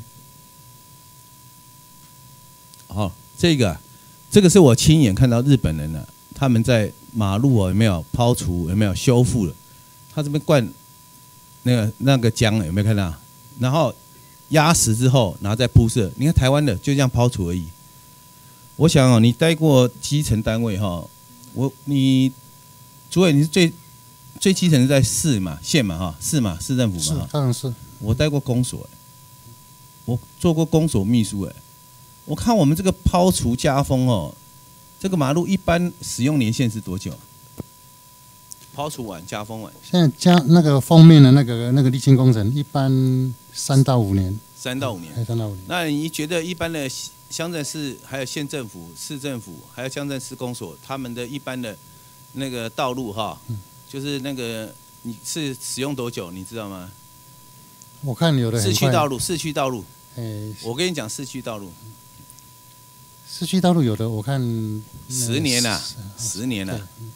我跟你讲了，十年了，啊，十年了，早就坑坑洞洞了，他们没有钱铺，而且哦，工程品质很差。你说这三到五年，那是非常标准、非常好的个有钱的单位啊的地方政府。一般的哦，我想老百姓看得到啊，就是出门要看到路平灯亮、水沟通，哦，这个他有感的东西。我们的道路加封啊，跟国外啊差很多。那因为大概我们的品质还有我们的价格哦，尤其是价格的问题。那你说高速公路它会不会这个样子？绝对不会嘛，因为高速公路它的价格高嘛。那我们现在有一个叫做那个回收料有没有？沥青的回收料有没有？再生沥青，哎，对不对？再生沥青，这个我们桃园市政府那个我们新市长郑市长来哦，特别有跟他讲，我觉得这个绝对不能用，哦，因为这个再生沥青哦，真的问题非常多。你说补洞补坑洞可以啦，临时性的。你如果整个是抛除夹缝的话，你用这种再生的沥青的话，非常速度非常快，很快啊，这个道路就破损了。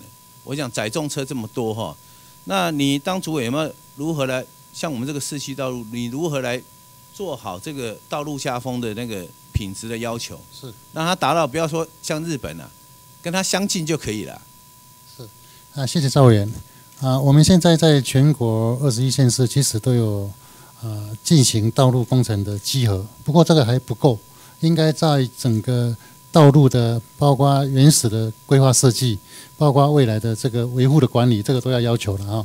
那台湾的这个这个沥青道路工程，刚刚赵委员特别提到的，用了很多再生沥青，这个要非常的谨慎，因为再生沥青它的胶合度、它的被检验其实不太容易。好，所以这一部分的话，我们未来哈、包括可能也要参酌像日本很多先进国家，它在道路工程部分，他们是如何做的那么好，我们要虚心检讨啊。如果在台湾这边，当然有一部分早就要去学了，不要讲到现在对才学哈。对对那你看那个我们那个再生沥青有没有？它那个回收的嘛，回收料对不对？对。这回收料你有看到它那个石头有多小吗？它现在因为再生沥青哦，你回收几次我们不晓得。我跟你讲啊，那个看不到三米里，我跟你讲啦。你哪天去看一下那花东哈、你下机场哦，或者到那个地方去，你看他们铺设的道路啊，再看看我们这个北部地区啊、西西部地区的铺设道路啊，我跟你讲，那个道路啊，加封大概一两年后啊，我想沥青都会慢慢退掉嘛，对不对？是不是？那个路面就会出来。我跟你讲，一一个石头看不到，几乎看不到石头啊，就黑黑黑压压的一片，啊，里面都是小小碎石，非常小，都是再生沥青。哦，第一个这个这个轮胎还有我们的机车主啊，道路使用人非常危险，会打滑。第二个啊，它非常不死。哦，你在一边市区道路，大重车可能没有办法进去。那你一般如果有进去了之后，我讲这个道路啊，没有几天呢、就坏掉。我觉得这个再生沥青不是不好啊，但是我们一定要要求这个品质，它的掺到里面的数量是多少？我就建议是最好不要用了。好、为什么？因为我们大概只有十年才铺一次，我们干脆要十年才铺一次，你就一次铺好一点。你反而这个材料为了要省钱，你用这些再生回那个回收料，那你铺了一次又一次，两三年就换一次，你反而花了更多的钱。我觉得这个道路的工程品质啊，一定要非常要求，一定非常要检视。我不不管是那个各部会单位，尤其是我们的最基层的市区道路、乡镇施工所的哈，最基层的道路，一定哦要把持，哦把关。那个公共工程委员会的各位长官啊，你们辛苦一点哈。这个大的一亿工程，你们要去去看，你们要去也要去监督。那这个小工程有空啊，有时间啊，你们一定要排时间专案来处理，好不好？好，谢谢诸位。好，谢谢邵委员。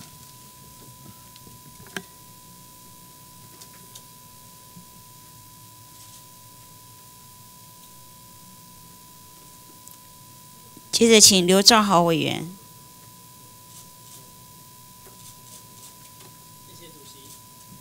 谢谢主席，主席，我们各位请吴主委，谢谢。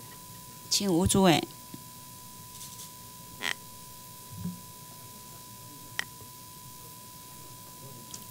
刘委员好。呃，诸位好哈，诸位首先恭喜你来担任这个新的职务哈。虽然呃公共工程委员会在组织啊再造之后，呃可能即将要编入其他的业业务的不同，编入其他的部会哈。但但是我相信呃在呃这个之前还有许许多多的工作哈，也有带你啊能够来领导公共工程委员会来啊完成哈。那本席因为你刚上任也差不多。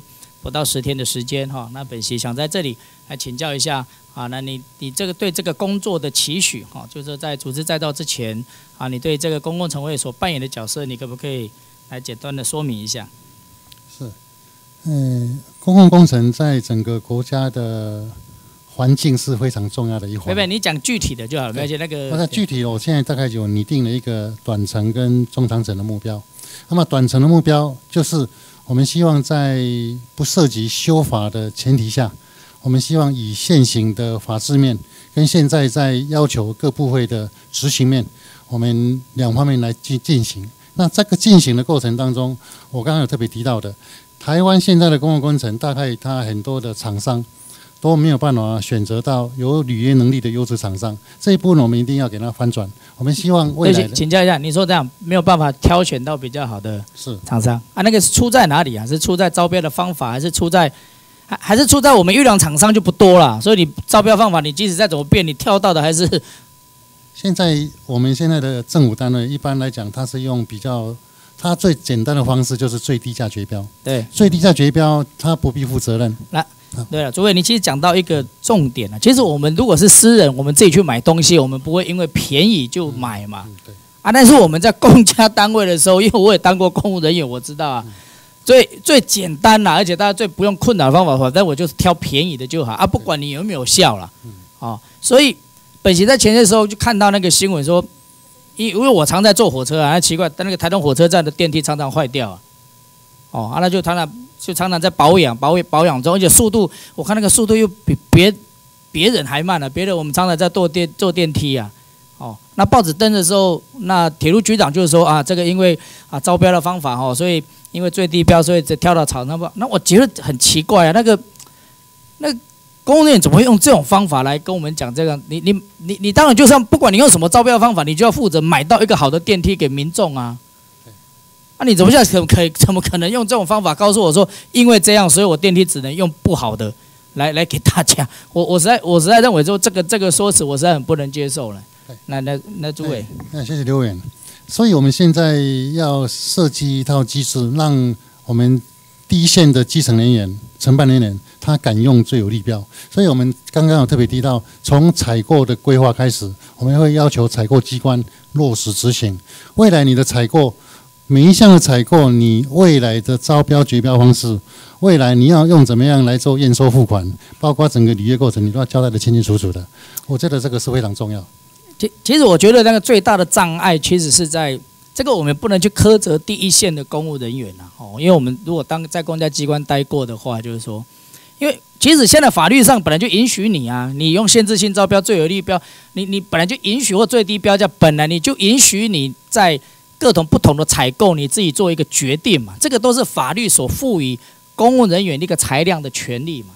啊，那问题是在我们实务运作的时候，为什么这会很困难？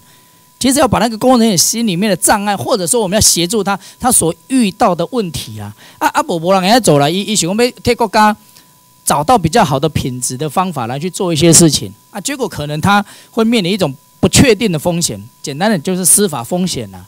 那那谁会做这种事情？那当然这样，那就很麻烦嘛。对，现在的实务作业要用有利标，主办人员要做分析。其实所有的风险承担都在一个人的肩上，这是不对的。对，应该是采购机关你要合意。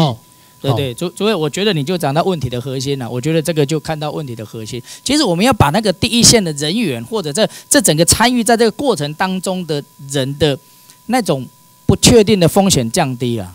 因为这样才有人愿意打从心里面的为政府来做事情嘛？啊啊啊！不然谁会做这种事？一个月领个基层人员领个五六万块，你要叫他冒那种不确定的风险，谁谁没有人要做这种事情。将心比心换成我们，我们也不愿意啦。哦，所以本期在期待你说，在你看见那个问题的重点，那我希望你来做这样的一件事情。那第二个，本期在这里跟你还是再次的强调跟你分享哈，因为公共程委员会当然不是执行的单位了哈，但是我们希望你做一个领头羊，把一些基础工程好的品质做给一个示范作用了。简单就是个示范作用。我举个最简两个最简单的例子，说民众常常讲的铺柏油这件事情啊，铺柏油这件事情，或者是种行道树这件事情，那个是最简单、最最稀松平常不过的一件事情。但是我们常常这两件事情都会被民众所诟病啊。好，那那我常觉得工程会有没有办法？你当一个指你你自己下去做，比如你挑一段挑一个路来做哈，那做一个示范的品质，然后可以可以跟大家讲说。以后我期待每一个乡镇市公所、每一个县市政府铺铺柏油，就是照这个方式，比只这个算，呃，可以效法这个方式来铺柏油。还有行道树的，我我个人认为行道树现在我们招标方式有有几有一个大的问题，就是因为我们验收完之后，它大概工程款就付完了，它大概后面的那个保护期的工程款大概剩下可能百分之十或者更少。那那厂商来，那行道树树是。球啊，写在建河哇，建河水靠我剩，靠我剩，而且那个刚种下去的那个一两年，他们是最重要的啊。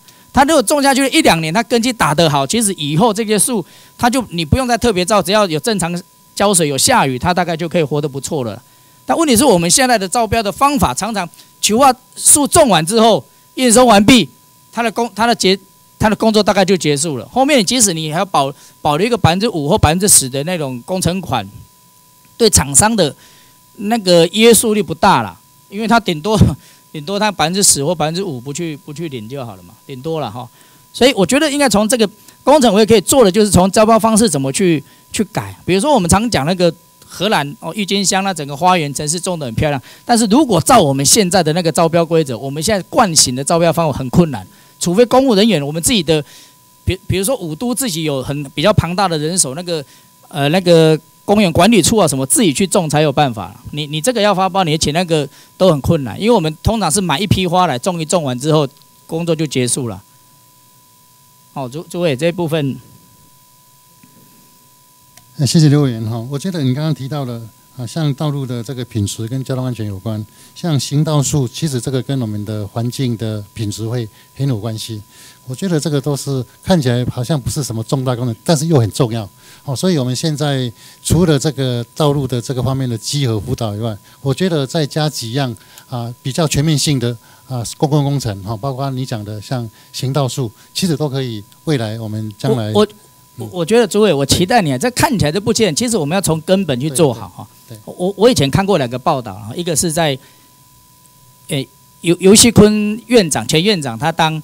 他好像当宜兰县长或当院长的时候，他在讲他如何去在宜兰县种树一个哈影片。另外一个我有看过一个影片是李光耀，他当中呢，他还有一篇影片是在在介绍他在如何在新加坡种树种草皮的事情。哦，所以这个很微不足道的事情，但是我们把它做好，其实是第一个对我们公共工程品质会有提升的示范效果。第二个。啊，今天天天气下落啊，昨天台台东啊飙到三十七度、三十八度了。如果说我们早期我们种的行道树和我们在市区所种的树都是种的很好，那我相信那多少会产生比较好的一个效果了。好，那诸位现在呃虽然是面临组织再造的一些问题哈，那你也刚呃接任这个职务了。好，那本席与其说今天是一个呃咨询，倒不如是大家互互相的分享，也互相。啊，大家彼此齐勉啊！本席期待你在这个工作里面能够发挥那个示范的一个效果。无论是你刚提到的那个法律上的修改、制度上的修改，让招标整个程序能够啊更加的完整啊，也包括说成为一个工程的示范作用。本席在这里都啊期待你扮演好这个工作。好，谢谢。好，谢谢刘委员。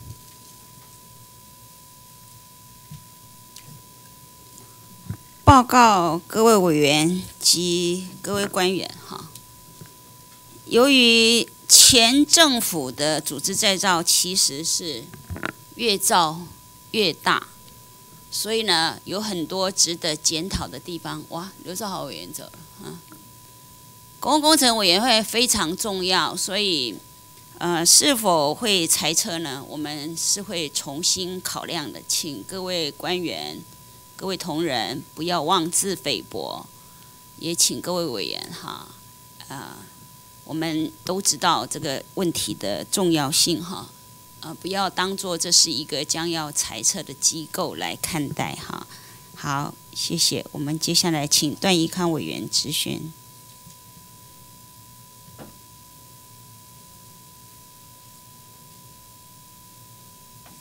我是因为一直有委员，连续两个委员一直讲他们要裁撤了，所以才跟各位做这样的报告哈。好，主席、各位同仁了，我们请呃吴主任委员。请吴主委。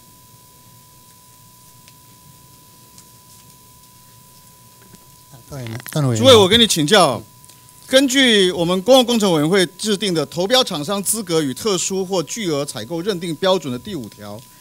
里面提到啊，对于机关办理特殊或者巨额采购，那么可以啊，另外额外的除了基本的条件之外，另外定定资格。里面的第一款就提到，可以定具有相当经验或者时机了哈。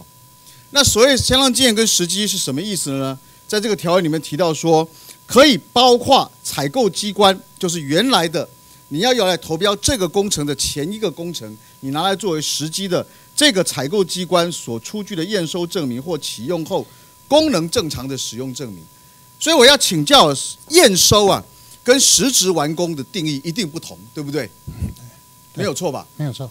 我们一般讲的实质完工啊，是指的像现在的机场捷运，它是实质完工了，对不对？可它验收没有？验收没有？你知道吗？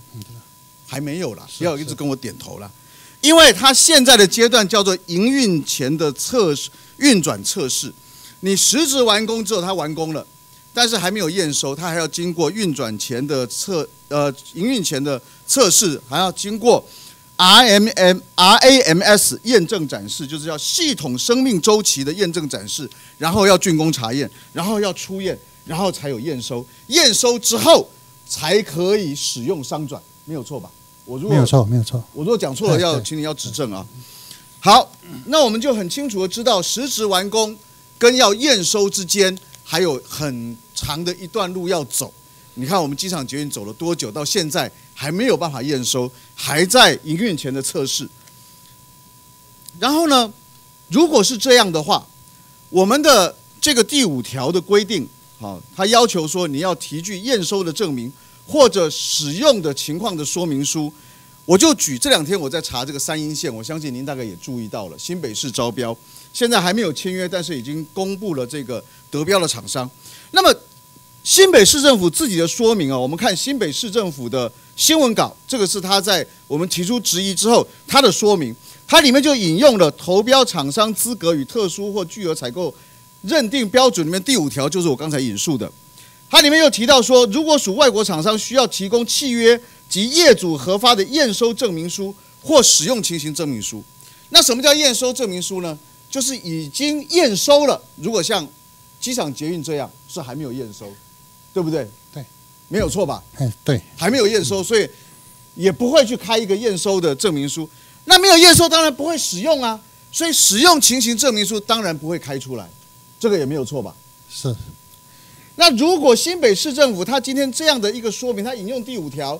然后我们看新北市政府在三英捷运线系统的计划的统包工程的投标须知的第六页，他也提到，他说，靠制厂商就第三资格，如果他必须要具备有捷运系统无人驾驶驾驶行车监控的系统的工程经验，跟通讯式行车监控 CBTC 系统的工程时机，这个 CBTC 就是。无线的这个行车的监控系统啊，它要有工程时机，就是我们刚才提到了那个时机啊，指的是不光是我们第五条里面规定，它在后来它也说明了，在投标须知的第八页，它也说，如果是在这个时机是在外国的话，它必须要有业主核发的验收证明书或者使用情形证明书，这符合我们第五条的规定，没有错吧？也就是说，你今天这个得标厂商，他要拿这个工程实际来投标的时候，他必须要有证明书，要么就是证明说我已经验收了，要么就是不但验收，而且已经使用良好的这两个证明其中之一。我这样讲到现在这样子，引用了你们的规定，引用了新北市政府自己的说明，跟他在投标须知里面的说明，对于厂商资格的要求，到目前为止应该都没有错吧？是，当然。那我跟您请教，如果我今天是业主的话，我可不可以在定了这些规定，然后做了做这些说明之后，我在决标之后，我再来解释说，哎，我的要求没有那么严格。站在其实公共工程委员会的最主要的任务，其实就是采购法的主管机关。是，我们也都知道，公共工程其实必须要非常的严谨，否则争议非常会会非常的多。你们的一个重要的业务就在处理这些争议。如果说业主居然可以在招标决标之后再来解释说我的招标资格其实没有那么严格，你觉得这样子我们的公共工程采购是不是会天下大乱了？我们可以接受这样子在业主在事后的自意解释吗？好，谢谢邓委员。招标公告要一体适用，不能够有针对性。第二个。签约前的余力一定要厘清，才能够签约。好，我给你提示哦，我们手上拿到的这个在网络上其实都已经看得到了，就是德标厂商这家号志系统的公司啊，意大利的 Ansado，他提供给当时的评审委员，对？用来作为证明的是一封信，这封信呢有土耳其文翻译成英文，英文再翻译成中文。我们就不质疑啊，它这个里面中文有没有变造？我们拿厂商提供的对他最有利的，请主委看这个黄字的部分哦。他说，他说这个 CBTC 号制系统啊，已经实质完工。那实质完工是什么意思呢？这个业主所提供给厂商的回答复的信，告诉你说，作为号制系统的实机的 CBTC 系统，实质完工。那我们刚才问了半天，就是时机，它必须是要验收完成，它有验收证明，对不对？或者更好的，它有使用情形，验收之后还在使用了。那如果今天有厂商给评审委员的这封信，只告诉我们作为号志厂商要投标的资格最重要的那个核心的 CBTC 这个系统，它必须要有时机。那结果呢？他给评审委员看的这个中文呢，这封信呢，告诉你说，CBTC 系统在一在土耳其的安卡拉作为实际的这个捷运线呢的建制，他说是实质完工。那实质完工，我们一开始讲实质完工不能验收啊，实质完工当然也还不能使用啊。那如果这个资格不相符，我不晓得评审委员为什么会让他得标，他根本资格要被取消。然后我不晓得说。作为主管机关，作为业主的新北市政府，为什么替这个替这个厂商这样子不再的圆谎？但是我知道你不会，我不要求你评论。但是我要请问你，你作为这个主管全国公共工程，要维护公共工程品质，然后你作为采购法的主管机关，请问公共工程委员会对于这样的状况，你们可以做什么？是。这个陈鲁刚刚啊段委员所刚刚所提示的啊，这个非常重要，尤其是几个文字它的定义，事实上是有出入的，而且这个应该要非常的清楚界定你这个整个，包括你刚才提的几个文字的定义。那在刚刚提到的这个资格审查，其实不是评审委员的责任，这个这个审查应该是采购机关的责任，所以这一部分的话，采购机关一定要负一定的啊责任跟。评审委员，那你们能不能至少根据我们今天的检举，你们中共工程委员会发一个函给新北市政府，限期请他在签约之前必须先厘清这个状况，必须要答复给公共工程委员会。嗯，谢谢段委员，这应该的，好不好？是好，所以我今天所指的应该已经非常的明确了。是，好，谢谢。如果他不听呢？如果他不理呢？那个，谢谢召集人。那个我们会请他尊重，会请他尊重。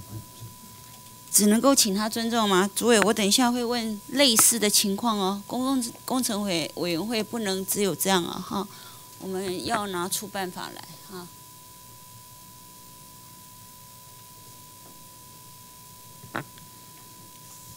我们请肖美琴委员咨询。哦，肖美琴委员完，我们处理一下临时提案。好，谢谢主席，请主委。请主委。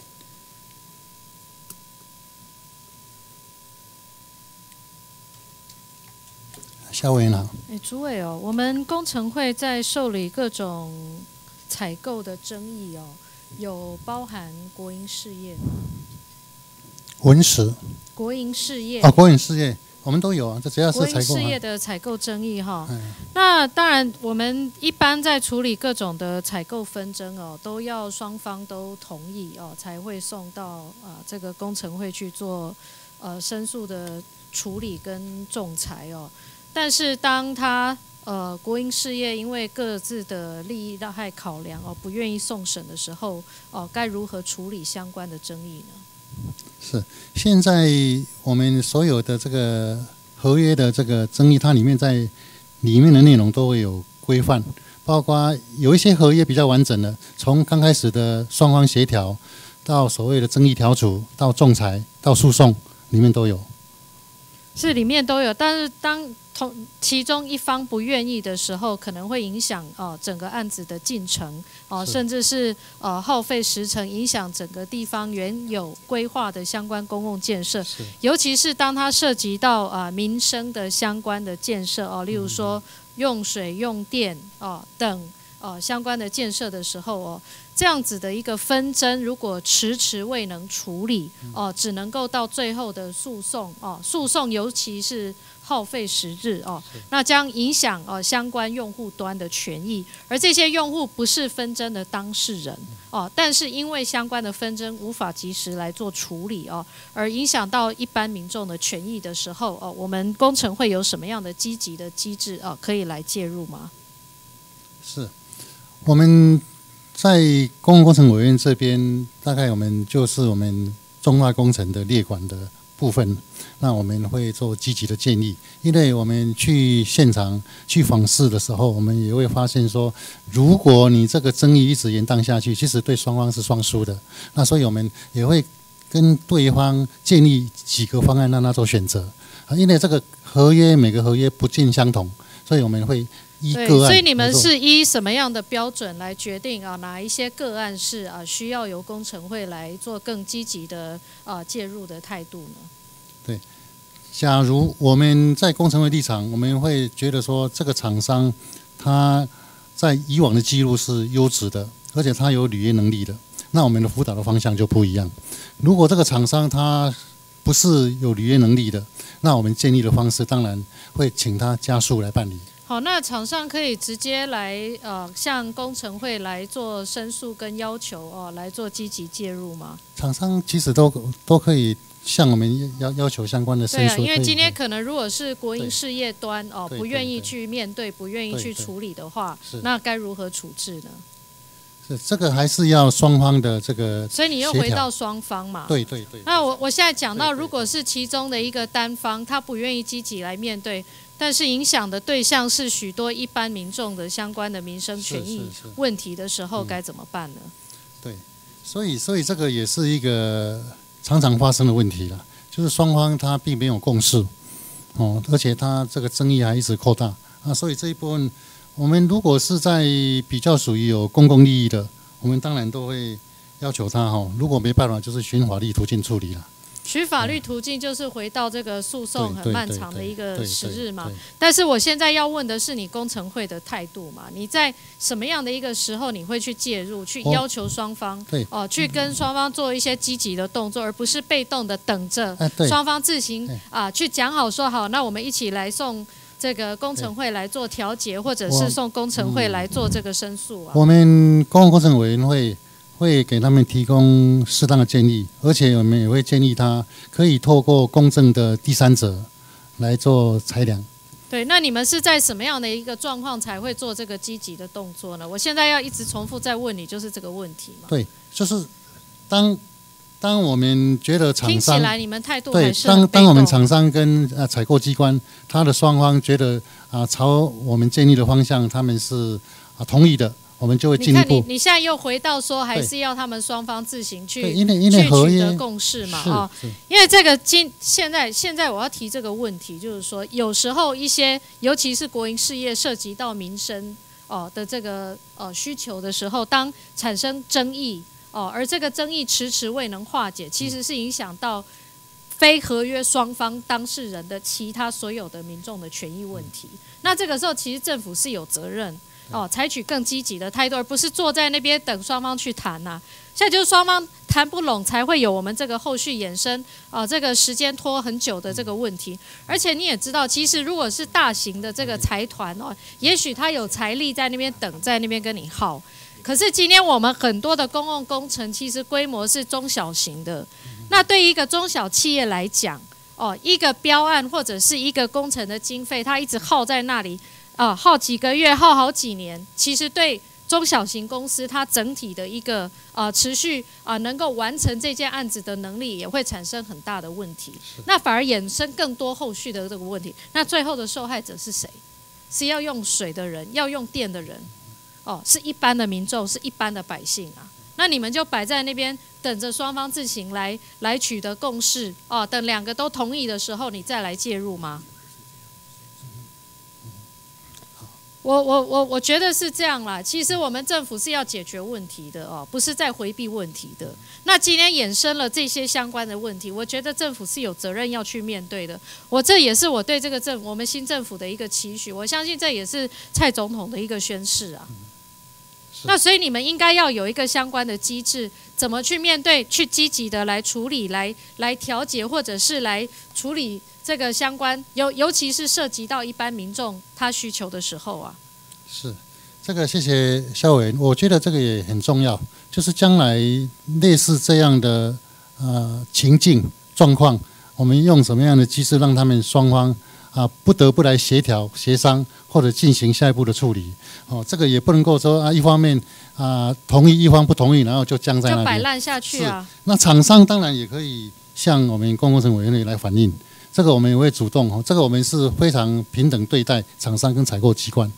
好，那接下来再请问哦，一个这个地方公共工程哦，最近产生一些疑义哦，那外面呃有些质疑相关适法性的问题哦，我想请教你的态度哦，就工程会的态度哦。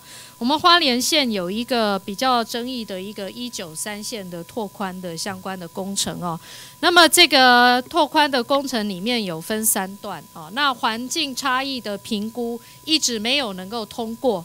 那其中三段里面的两段哦是呃相对比较争议的，那另外一段哦相对没有争议。那现在如果说拆成三段来做处理，那跟原来的这个整个工程的一个整体性哦来讲，它的适法性哦是如何啊？你们的态度又是如何？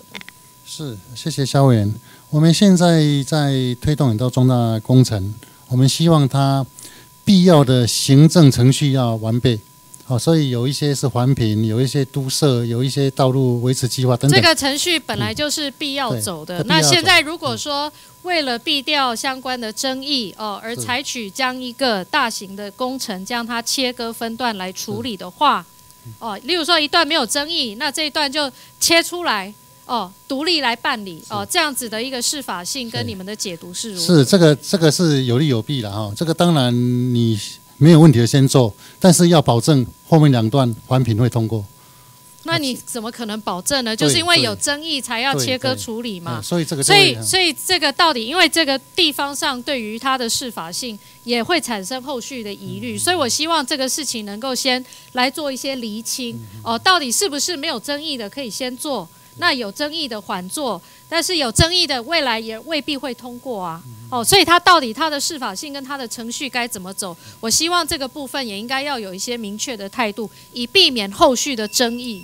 好，我们跟资源的浪费是是，我们会做必要的协助了啊。好，那是不是这个部分你们也能够积极的来做了解哈？那另外呢，呃，我这几年也一直希望能够促成哦，不管是公共工程也好，或者是一般呃民间针对呃住的安全，还有我们建物安全哦，来建立一个建材的履历制度哦。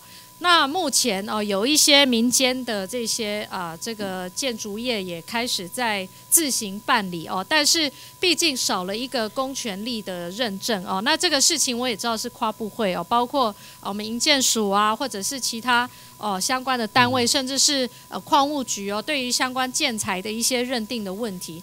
但是这个整个建材的一个履历制度哦，我相信对于资讯的公开化哦，对于民众对于建物的。啊，它相关的内涵物哦，它知的权利哦，应该是有帮助的哦。那想要了解哦，这个主委刚上任哦，那对这个部分有没有什么特别的看法？是，啊，谢谢肖委员。在材料设备技术工法这边的资讯透明，我们会鼓励各机关建立一个平台，就是让所有。很好的节能减碳、绿色环保，或者智慧的，或者是比较自动化的这些材料设备技术工法，它都有机会能够参与我们的公共建设啊。因为以往来讲，很多那是鼓励性的，还是会有一些具有公权力的标章，或者是啊资讯提供的这个要件呢？我们会透过法令哦，会来做公权力的要求啊，因为这个是世界的潮流。所以这个事情你们有在积极的在演绎吗？有。好，有第二个部分是刚刚特别提到的，像建筑的，包括体检补强，包括耐震。这个如果我们现在的民公用住宅或者公众使用的空间，它不进行体检，将来我们会建立内政部，包括相关的部会做资讯揭露。我相信对现有建物的一个总体检是很重要的哦。那尤其台湾这个地震跟相关天灾这么多，但是对于新建的这些建物哦，它本身的。这个材料，毕竟过去曾经发生过像海沙屋啦，哦，各种辐射污，或者是这个建材的来源哦不明哦等等的相关的问题，或者是这个建材的来源是否啊符合我们对于环境安全的一个标准跟要求哦，这些可能都是争议，但是过去一直没有一套具有公信力的这个系统哦，例如说这个。砂石是哪里来的？它是盗采的？它是用哪一个河川来的？它是疏浚来的，还是它是进口来的？还是金门啊？还是中国的海沙？还是哪里来的？这些资讯，其实我想使用端都应该要有。知的权利哦，知道它是不是符合，确实符合一个环境安全的标准哦。那包括其他的食材、其他的钢筋等等这些，其实我们如果可以建置一整套的一个系统哦，让呃不只是资讯更透明，大家对于未来公共建设的相关的建物哦，以及路面等等的这些啊公共设施的基本的标准哦，能够有更高的一个标准检验的。啊，规格我相信啊，对大家也是符合我们现在整个进展的需求哦，所以还是希望啊，我们工程会能够更积极的来演绎这件事情，好不好？好，谢谢。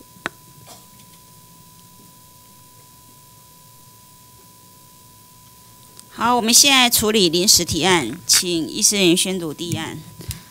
公共工程委员会自民国一百零三年推动公共工。来，等一下好了，我直接宣读修改过的文字好了哈，由我来宣读好了。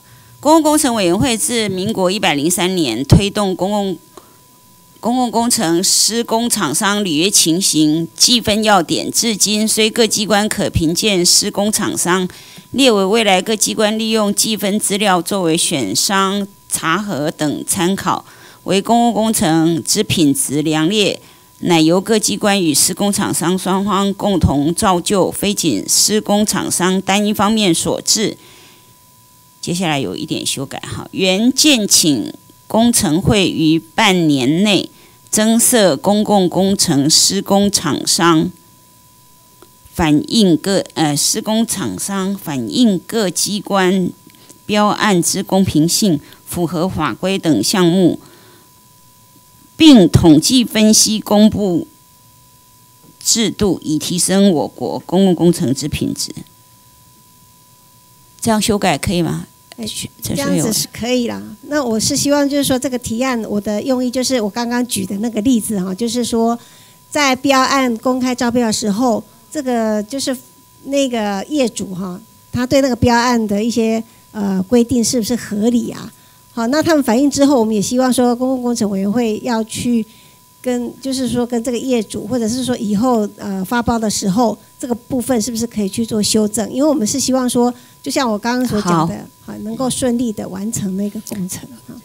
等一下哈，那个副主委，你还是用麦克风。我看我刚念的，你划掉划太多了，少两个字哦。应该是原件请工程会于半年内增设公共工程施工厂商评鉴，那评鉴那两个字不能划掉吧？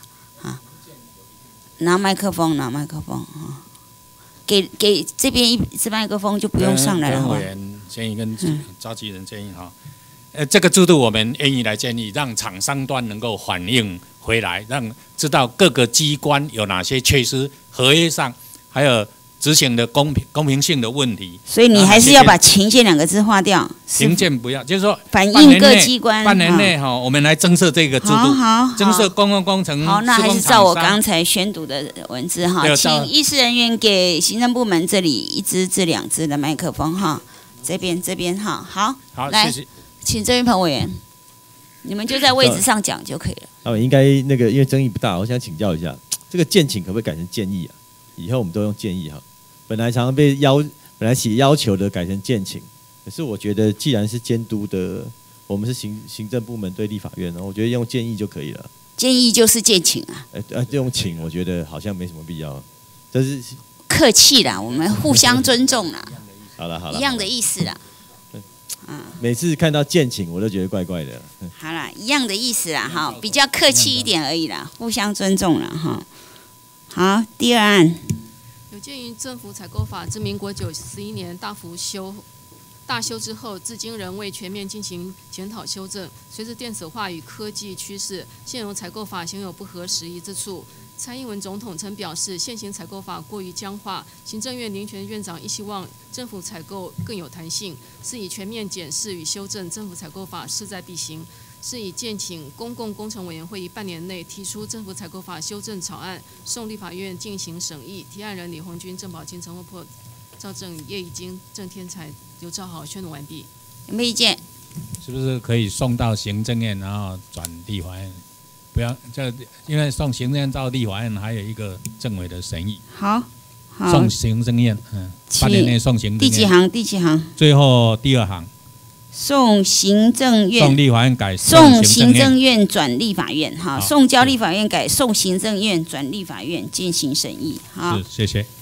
修正通过。第三案，请宣读。鉴于公共工程委员会。于土地闲置的活化标准过低，恐有刻意降低标准美化闲置工程之事实。其活化标准如工商科技、生活环保团园区等等，规定只能只要完成开发土地出租售率达百分之七十以上，即达到活化标准。实际上却发生工业园区遭投资客买来养地，并无实际开发的事实。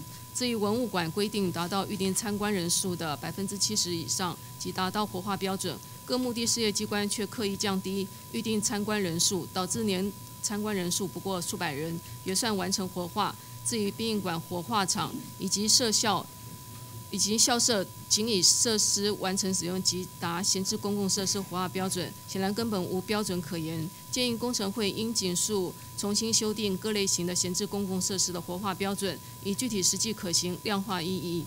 且具有长期经营效果，方能达到闲置工程真正的活化目的。提案人林俊宪、叶已经、陈淑月、郑天才、赵赵正宇、刘兆豪宣读完毕。好，请问各位有没有意见？没有意见，照案通过。接下来我们请李红军委员咨询。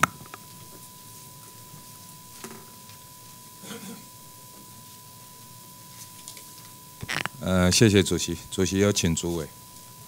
请吴主委。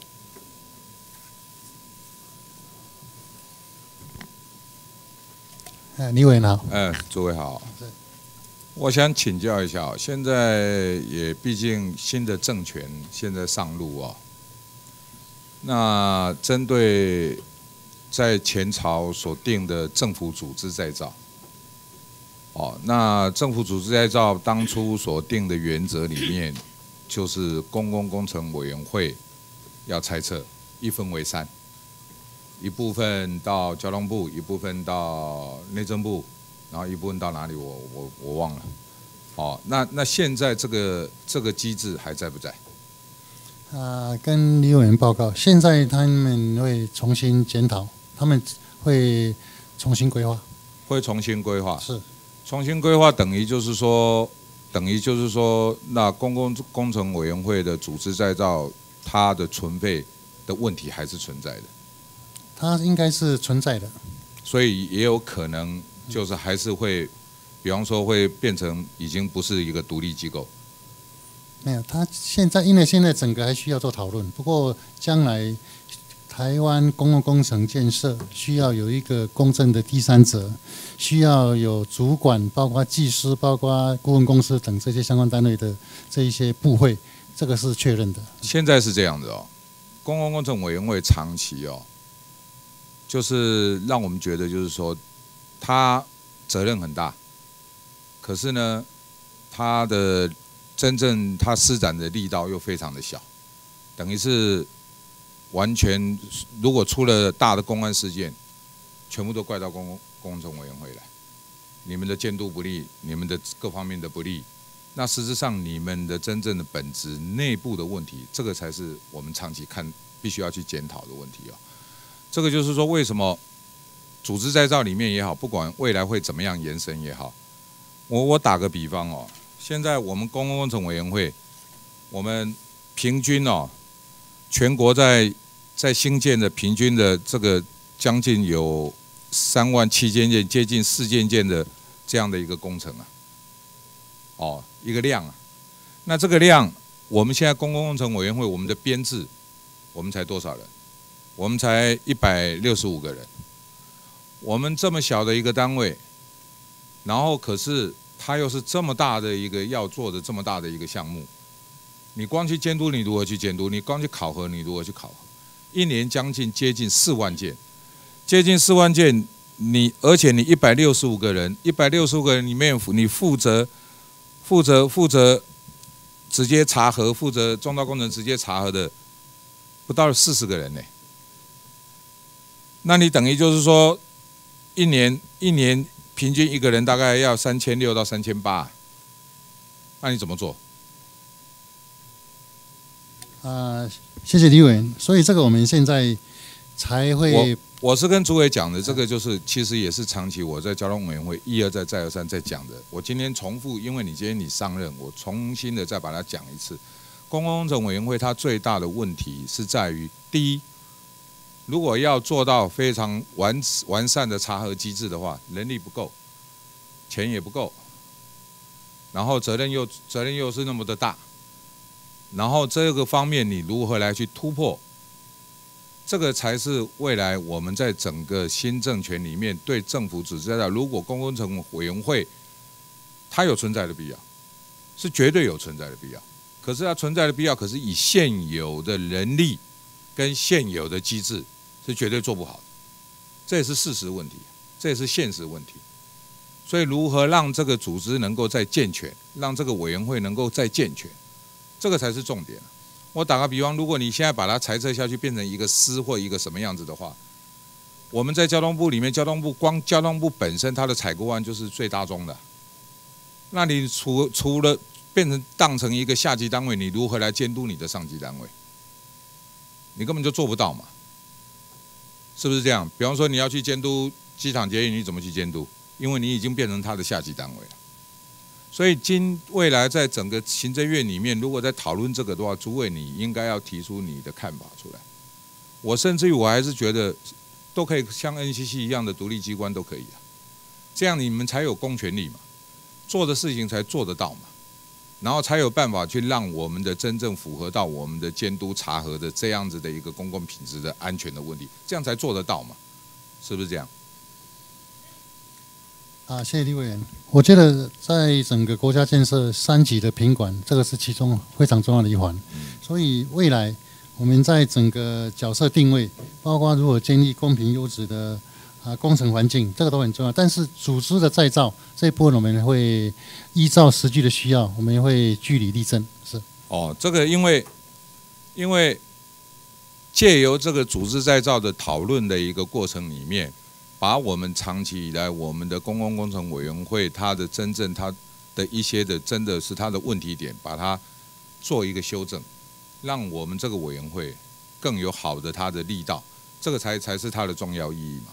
那要不然的话，我们就沦为我们就是一个幕僚单位，要么就是完完全全一个幕僚单位。那幕僚单位就是什么？针对法的修正，包括采购法，包括技师法，包括什么样的法，我们就好好的拟出一个建议案出来。那变成这样的单位也也是可以啊。啊，你变成四不像嘛，你变成两面也都不是人嘛。每次遇到重大公公重大公安事件的时候，我看历届的主委来，大家就大家所有的委员就开始一阵的骂。可是他，你叫他能够做什么？你叫他能做什么？才四十个人而已啊！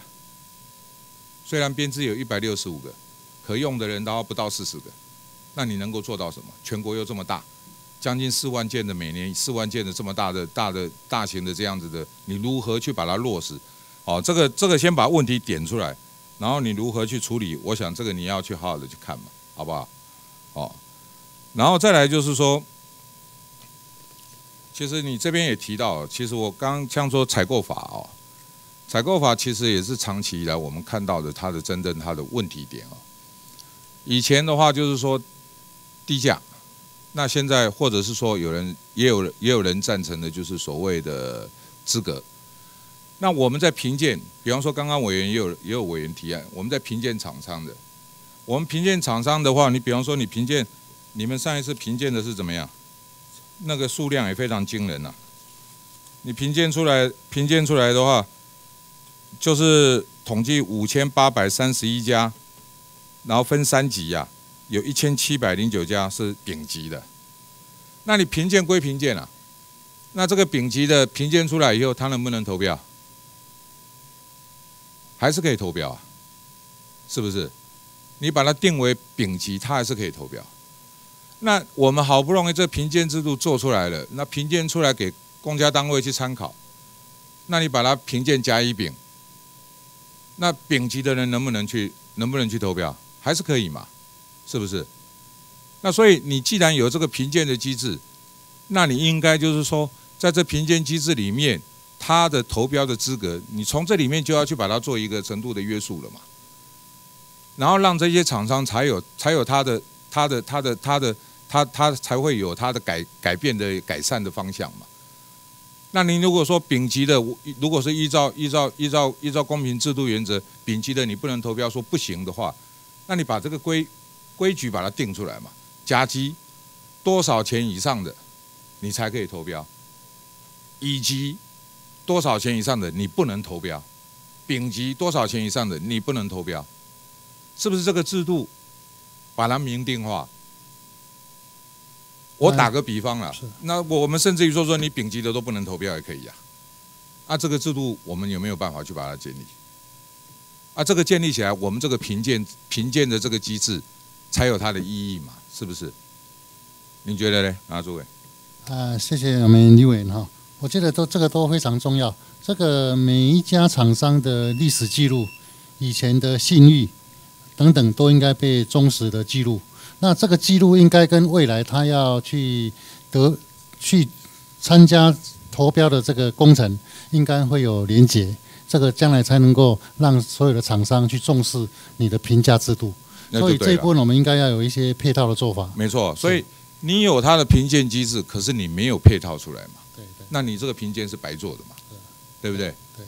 你这你这只是让让让让所有的所有的公交机关只是参考参考，可是。你也知道，你是从最基层公务人员上来的。照公务人员的他们的一般的行为行为守则的话，我不犯错，我也不能违法。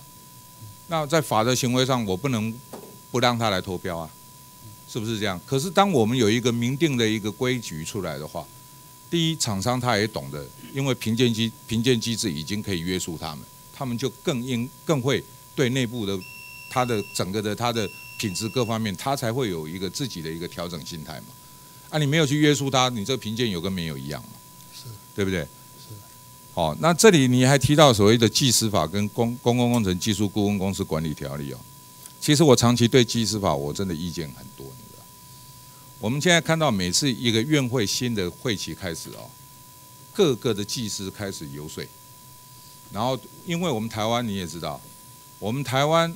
台湾就这么一个区块而已，所以你包括建筑师也好，土木技师也好，结构技师也好，甚至于大地技师也好，这这些技师都在抢饭碗。那我常常跟跟这些工会讲，他们来找我，常常跟他们讲，你要么从技师法去做修改，要么你从教育法去做修改。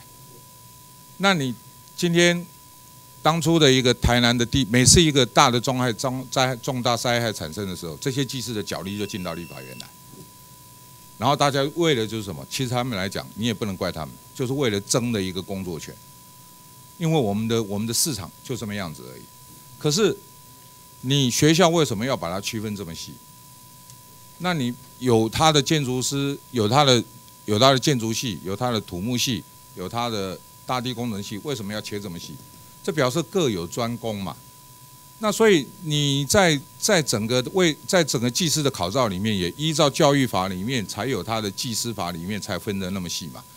可是你到了立法院以后，很多委员他专业上不是很清楚，对这方面的区块也不是了解。可是常常这个技师法在我们的立法院里面，常常都会变成这这已经讲了大概二三十年，在立法院里面。那我会常常跟这些工会的人讲。如果你们真的是为了要争权、争了你们的技师的该有的基本权利的话，你应该是从技师法跟教育法去做修改才对，而不是说从尾巴来修，应该是从源头来修嘛。好，所以这个还是我们还是要回归到我们的技师该有的专业的分工制度，这个才是这个基本原则嘛，是不是？哦，好好，谢谢。好，谢谢，谢谢我们李委员。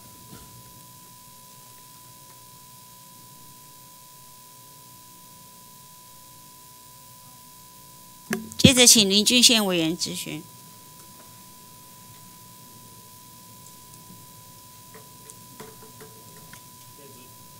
谢谢主席啊，本席邀请 我们吴宏谋主委。请吴主委。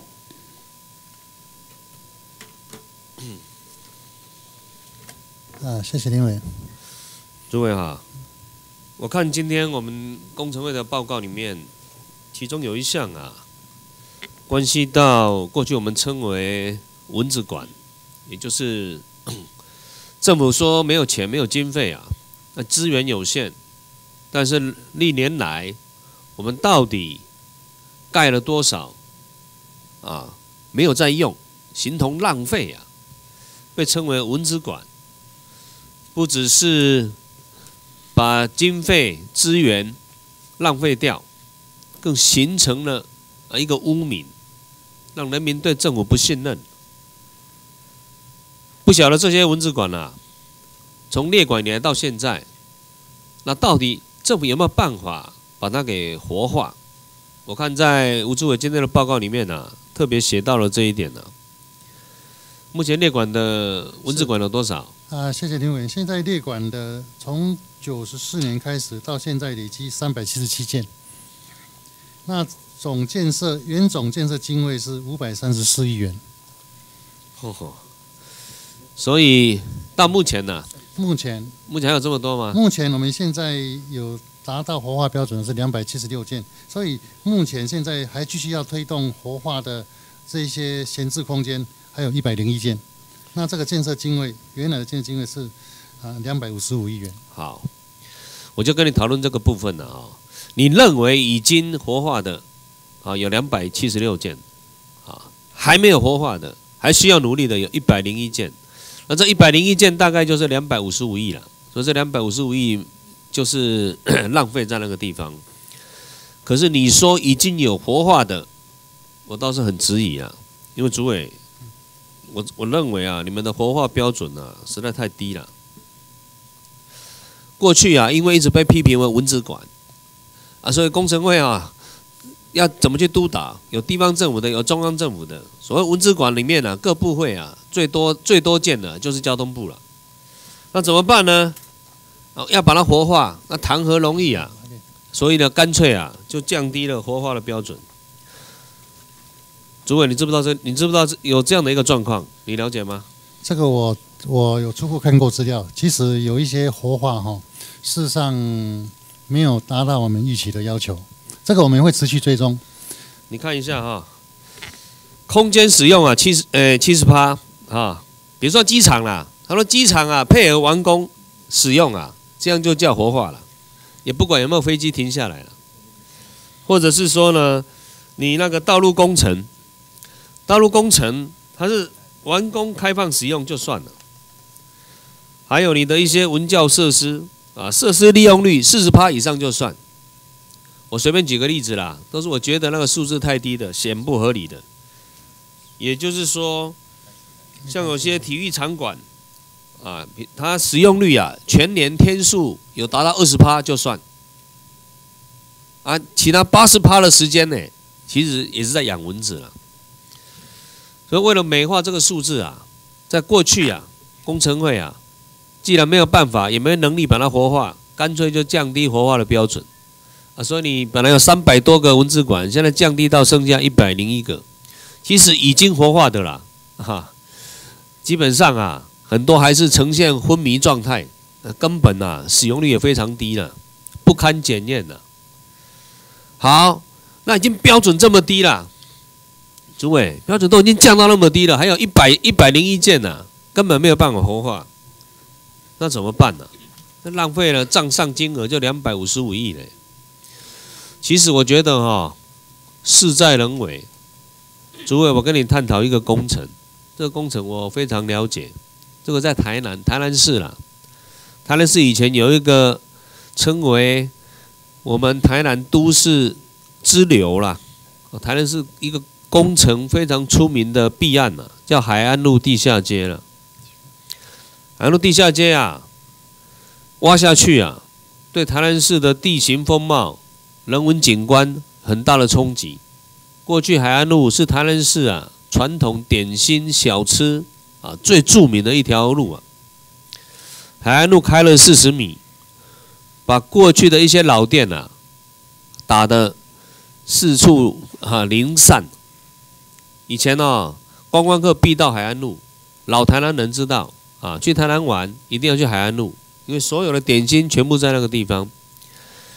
那海岸路一一开挖啊，这些过去啊啊老台南人的历史记忆啊就不见了，牺牲其实非常大。同时呢，因为它是南北走向，那我们的水流台南是东高西低，所以等于啊横断截截哈截断了地下水，这各工程一开始也造成民房塌陷了啊，那个连续壁啊啊那安全性呢受到很大质疑。整个工程营营造商啊还倒闭了，保证厂商也也没有办无力完成，烂摊子就对了啦。那哪有什么地下街？海岸路一挖，它所在地啊，台南市原来最精华的中西区中正商圈呢，就整个衰败啊，整个商圈呐几乎就死亡了。所以那个地下街啊，当然没办法开张营业，地上都没有生意可以做了，哪哪有机会让你在地下？后来呢，说不能改成停车场，问题是工程啊都难以验收，一摆就十几年。台全台湾呢很出名的一个大文字馆，我不知道主委有没有听过这个工程？有这个海岸路那个我去过三次，去过三次。还有妈妈是台南人的啊。那现在啊，工程会已经发布啊，今年一月份开始，海岸路地下地下停车场从文字馆里面除名了，它已经不再是一个浪费的工程。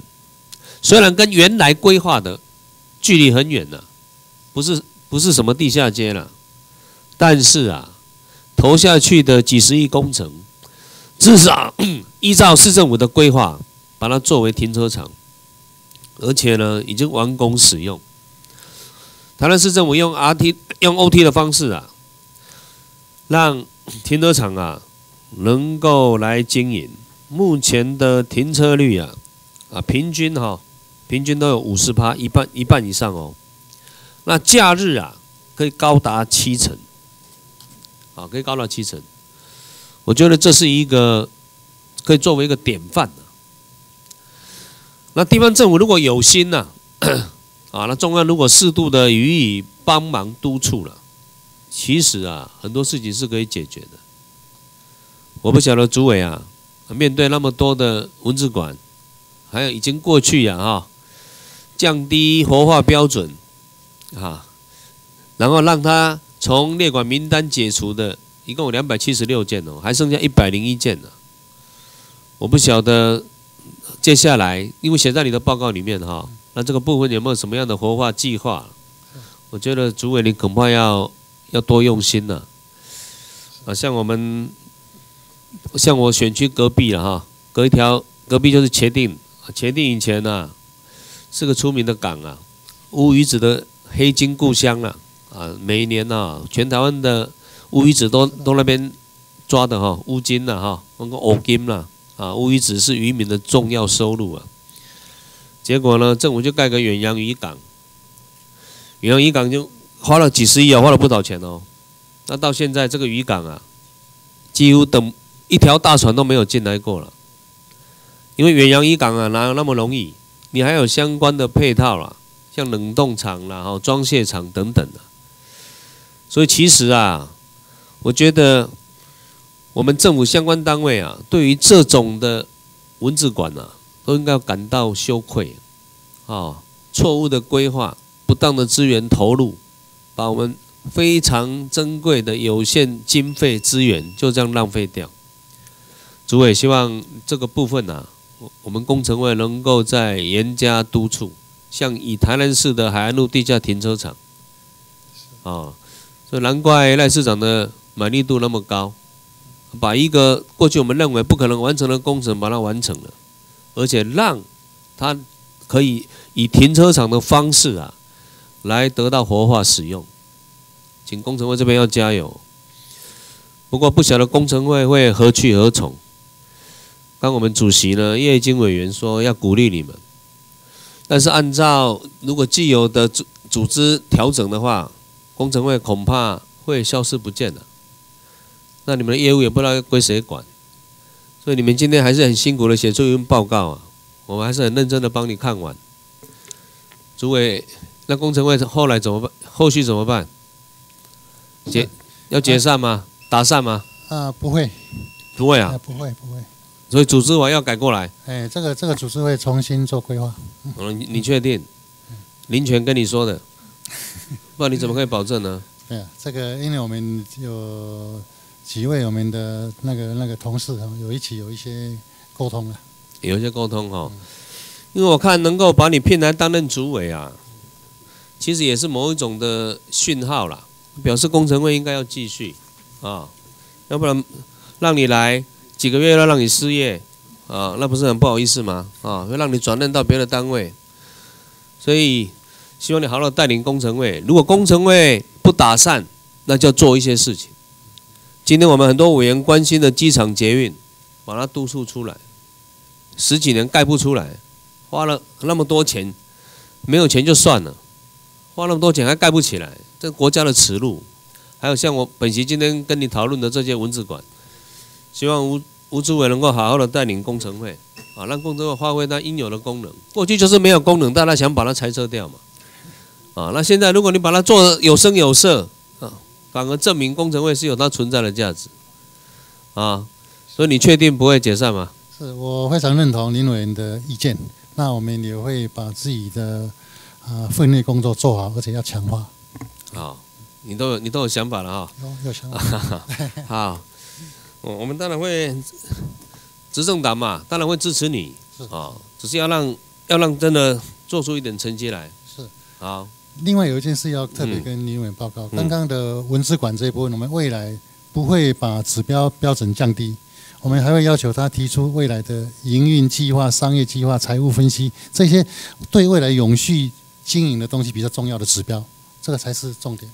我只要提醒主委哈，因为你刚、你刚、你刚简、你刚回答我的问题，其实是幕僚给你的数字答案嘛。他说过去有两百七十六件已经解除了列管嘛。那我跟你说了，为什么能够解除列管？不是真的把它活化了，是因为降低了活化标准。主委你可以参考一下啊。好，好，谢谢主委，好，谢谢主席。好，谢谢林委。诸位，我应该要这样说了哈。如果照公共工程委员会以前的表现是可以猜测，但是我们对未来有期待哈。好，请严宽恒委员。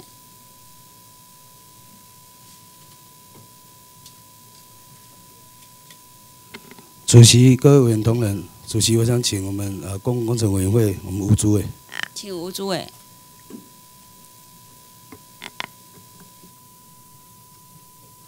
燕委好，哎，诸位好，诸位，呃，诸位从高雄市副市长哈，然后荣升到我们这个公共工程委员会来当主委，呃，我想我从新闻的媒体上面哈看到很多的网友在脸书上的 po 文，就是直接批评说呃讽刺啊哈，就是讽刺主委是这个妈宝啊，就是这个有妈的孩子像个宝。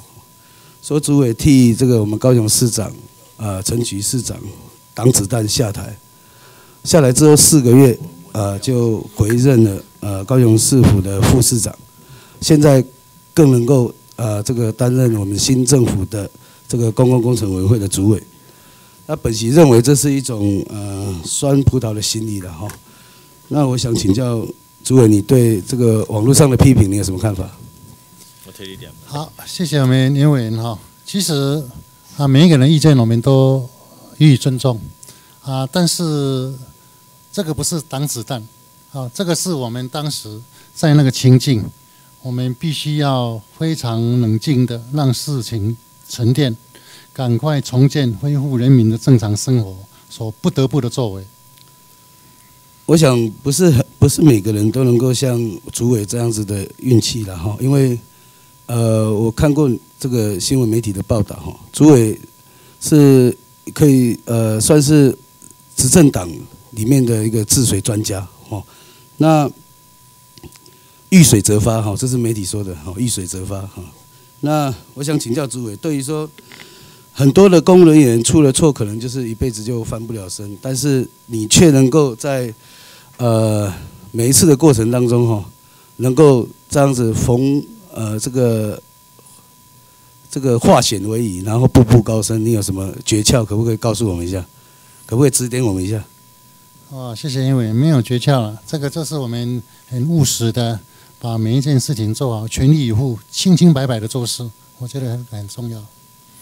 呃，请教诸位，你对于呃，大家知道你是一个呃，这个你对这个城市美学有这个坚持哈？那你现在接任我们的公共工程委员会？那在于这个，你就任之后了，你会考量现在的重大工程是针对于它的安全性，还是说这个外观啊，这个这个这个这个造型啊，你会着重在哪部分？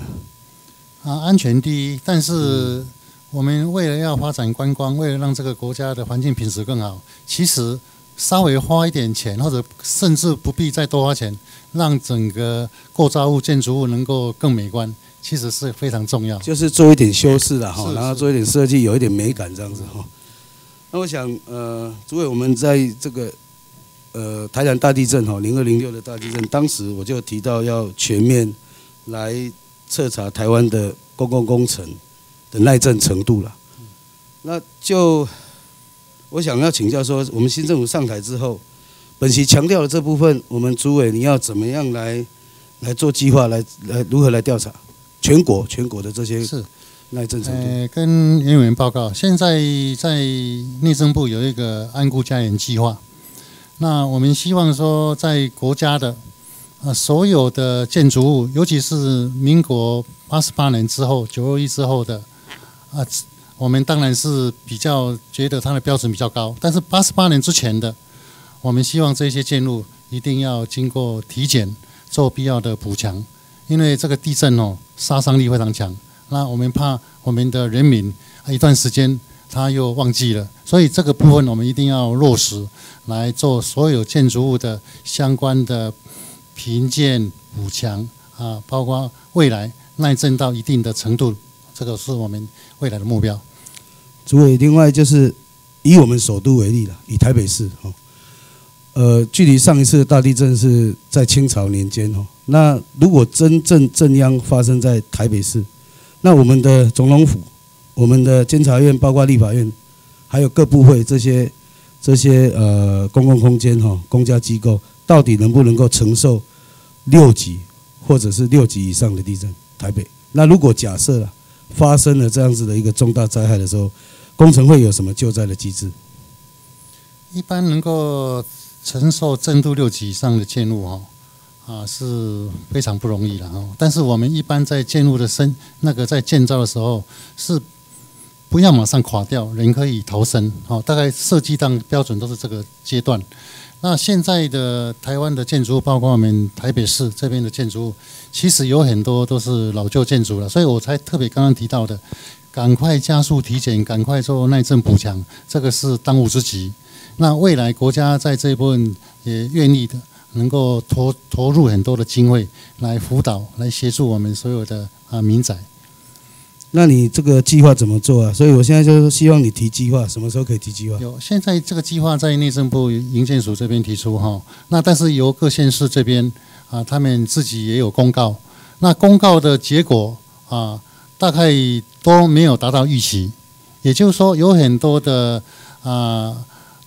住宅大楼，它事实上它并没有自己因为有补助而提出申请，事实上这个是不好的，因为他认为这个会影响到他的房价，所以未来如何配套让你没有经过体检的、没有经过补强的进入，用资讯揭露的方式，包括以后的交易，你这一部分可能都要做适当的管控，我觉得这个才能够让所有的这个耐震补强的工作能够非常务实的，能够到达到啊每一栋我们。啊，人民所住的啊房子。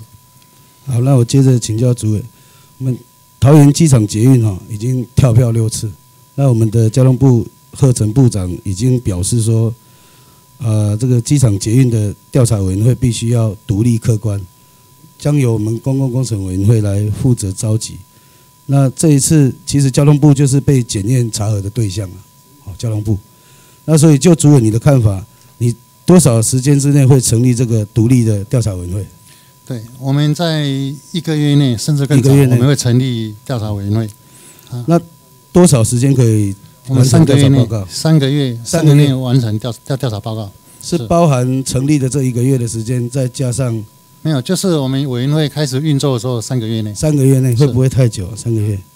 啊，我们当然能够快就快，但是因为这个里面我们会遇到什么状况，我们现在还不能够。啊，马上就能够啊很清楚的界定了，所以这个需要一点时间。哦，那如果是要三个月的话，那我再请教了哈。如果依照采购法七十二条第二项，啊，就是验收结果与规定不符，但是呢，它呃在不妨碍安全及需使用需求的情况之下，如果完红公司提出减价验收的要求的申请，诸位你能接受吗？这个主办工程机关是交通部，交通部啊，对。但是我个人我觉得有很多方式，如果你花钱，如果改善你不花钱，我觉得那个你就是违反合约。你是公共工程最高的主管机关了哈，所以说虽然主管机关是是交通部，但是它是我们呃台湾非常也是一个非常受瞩目的一个一个工程，所以说才请教你的看法。你愿意？你认为说，如果他做一个减价验收的这个要求申请，你的看法怎？你的立场？我我我的看法，我觉得合约有规定。嗯。你如果今天啊不是技术上的问题，你花钱可以做到了，你就要按照合约来改善。嗯。好，你如果说今天你是因为合约的规范啊，可能有一些问题，那你花钱也做不到的。但是在安全跟稳定很多前提下，我们当然可以做讨论。对，所以，所以主委，你的你的立场就是说可以接受了哈。如果说我没有这样讲，我没有这样讲。不是你，你刚刚讲的就是说，如果不不跟安全没有抵触，花钱做不了的时候，不是就可以做减价验收吗？因因为现现在他这个工程的合约哈，他当然他的要求很多项目他都没有达到，但是没有达到，我们要去检视他，说你为什么没有达到？是因为你舍不得花钱呢，还是因为你这个？在现在的技术根本做不到的，这个要有厘清。好，那没关系，我们哈再再接下来再继续观察了哈，观察说看看我们后续啊，万隆公司他会提出什么样的要求，那交通部怎么去应对，工程会的立场怎么样？那我接着再请教，就是说我们从民国八七年制定这个采购法，到现在已经快二十年了，它是小额的小额采购十万块以下哈，不用公开上网招标。那可以省去一些繁杂的手续了，但是请教主委，就是说，因为呃已经快二十年了哈，那八十七年的十万可以采购的物品，哈，跟一百零五年的十万块采购的物品已经有一个非常大的差距，哦，这个物价上涨，所以说如果调整额度到二十万的话，是不是可以让呃这个公务部门哈行政部门可以提高效率？那你认为说可不可行？支不支持？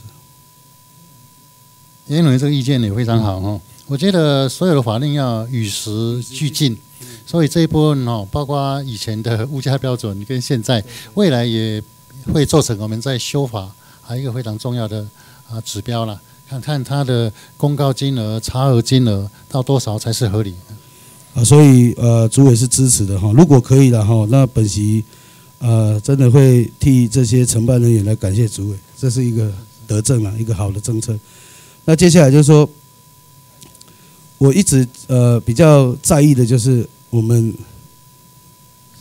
到底如果真的碰到一个天灾意外的时候，我们台北市哈首都哈到底能够承受什么样的这个这个情况？假设今天发生了灾难，那那我们主委说的这个呃耐震的补强，好耐震的补强，如果说像像一直没有没有一个。一个很快速的进行，那像现在这样子龟速的慢慢的做，那如果灾难来了，我们还是还是没办法应付啊。所以你的计划到底什么时候？你说营建署已经在做计划，到底我们什么时候可以看到这个计划？对，我我觉得事情一定要有有预防的啊，凡事预则立，不预则废。我觉得这个要加速办理。那这个房子的耐震。我刚刚有特别提到，在民国八十八年之前，九二一之前，事实上它的标准是很低的。那我们希望说，一定要透过各种不同的形式，务必让啊每一栋在以前耐震标准比较低的实起盖的房子，要经过体检，甚至经过补强。然后我们要透过很多的配套，包括未来的移转，或者包括未来用资讯揭露很多方式，鼓励他们，甚至用。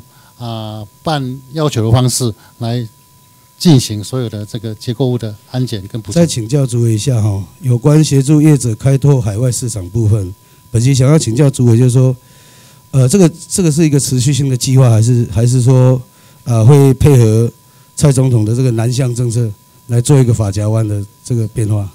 啊，这个我们现在未来啊非常注重产业了哈，这个也是一种产业。所以我们的开创性哈，包括我们历来大概也知道台湾有很多的这个产业在国际有竞争力。那我们希望透过一个平台，能够要求啊产业相关的业者啊进行沟通，或者有必要的资源，好，这个我们未来会持续来做。好，谢谢。好，谢谢严宽恒委员。那接下来我们请叶一金委员。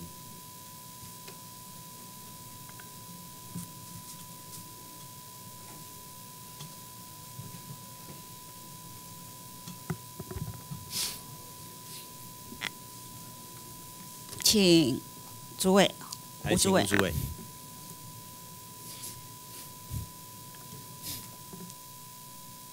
啊，叶少卿好。诸位好，诸位，我已经说了哈，公共工程委员会会不会裁撤呢？其实是看你们再来的表现。我要很清楚的这样说：如果照之前公共工程委员会的表现呢，不分蓝绿都觉得可以废了。因为没有什么作用，但是再来会怎么样呢？我们重新来做一个评估，那就要看你们的表现了。但是呢，新政府我也是执政党，所以我也有责任，我也替你们担心。所以我现在要来跟各位好好的来讨论一下公共工程委员会。首先，我就要请问诸位。包括在场的各位官员，我刚刚有就跟你们说过，请不要妄自菲薄。但是我们要好好的来检讨一下。请问各位，目前公共工程委员会有几个实际有过工地经验的？也就是说，实地有工地操作过的，请举手。非常好，真的实地有哈。真的有这么多在实地有哈，好，诸位你也有哈，好，非常好。我希望你们下次给我一份，你们操作过什么公共工程？操作做过，不要说公共工程好了，操作过什么工程？好不好？哈，简单的给我一个。啊，不要忘记我们现在算是同一团队了哈，所以我也要很清楚的明白。但是呢，我还是要反映民意，所以对你们还是要有所监督跟要求哈。好，过去虽然目前刚才举手看起来还有不少人有实地的公共，不是有实地的工程的经验，但是问题呢，我们看到的公共工程委员会呢，差不多都只有纸上作业。都只有 paperwork，甚至觉得你们根本就不熟悉工程，觉得都只是在做招标的业务而已。好，这是过去所有的有什么工程的问题的时候呢？啊，几乎都要用民间的顾问公司来监督管理。这是过去我的认知跟看法，就是仰赖顾问单位或者监造单位，那出了问题呢，公部门还是一样，只有纸上作业。这是我对过过去的公共安全委委员会的看法。譬如说，我们的机场捷运，今天很多委员讲到了，结果本来公共工程委员会是要能够事先防范，然后事后查核。可是呢，我们机场捷运大家讲这么久，延宕这么久，啊，这个一次又一次，结果呢，我们最最后一次要求你们检讨考核的时候，你们出来的报告还是只有陈述事实而已，陈述过往说哦哪个地方。有问题，哪个地方出了问题，哪个地方延宕了？招标施工的种种缺失，通通都没有。只有说，比如说机电出了什么问题，什么滑坡有多陡啊，还是只有这样子而已了哈，非常可惜哈。最后的建议哈，也是像作文而已。而且是不痛不痒，最后建议叫做积极落实三级品管作业，强化总顾问、监造单位及统包厂商契约责任。啊，这个还要你们写报告啊，还要你们说啊，是不是，主委？这个都都都是常事，好不好？是不是？啊，所以这个不算一份真正的检讨考核。只是把过去犯的错事实的陈述而已，这样是不行。好，我们希望你新人新来了以后，要能够真正就工程的部分到底怎么样，就你们专业的部分来，真的要做事前防范跟事后的查核。好。再来，我刚刚也有说到，我本来要还要跟主委讲的，也有委员提到的，事前的防范也很重要，不要只有在办公室看执行率、看考核的数据。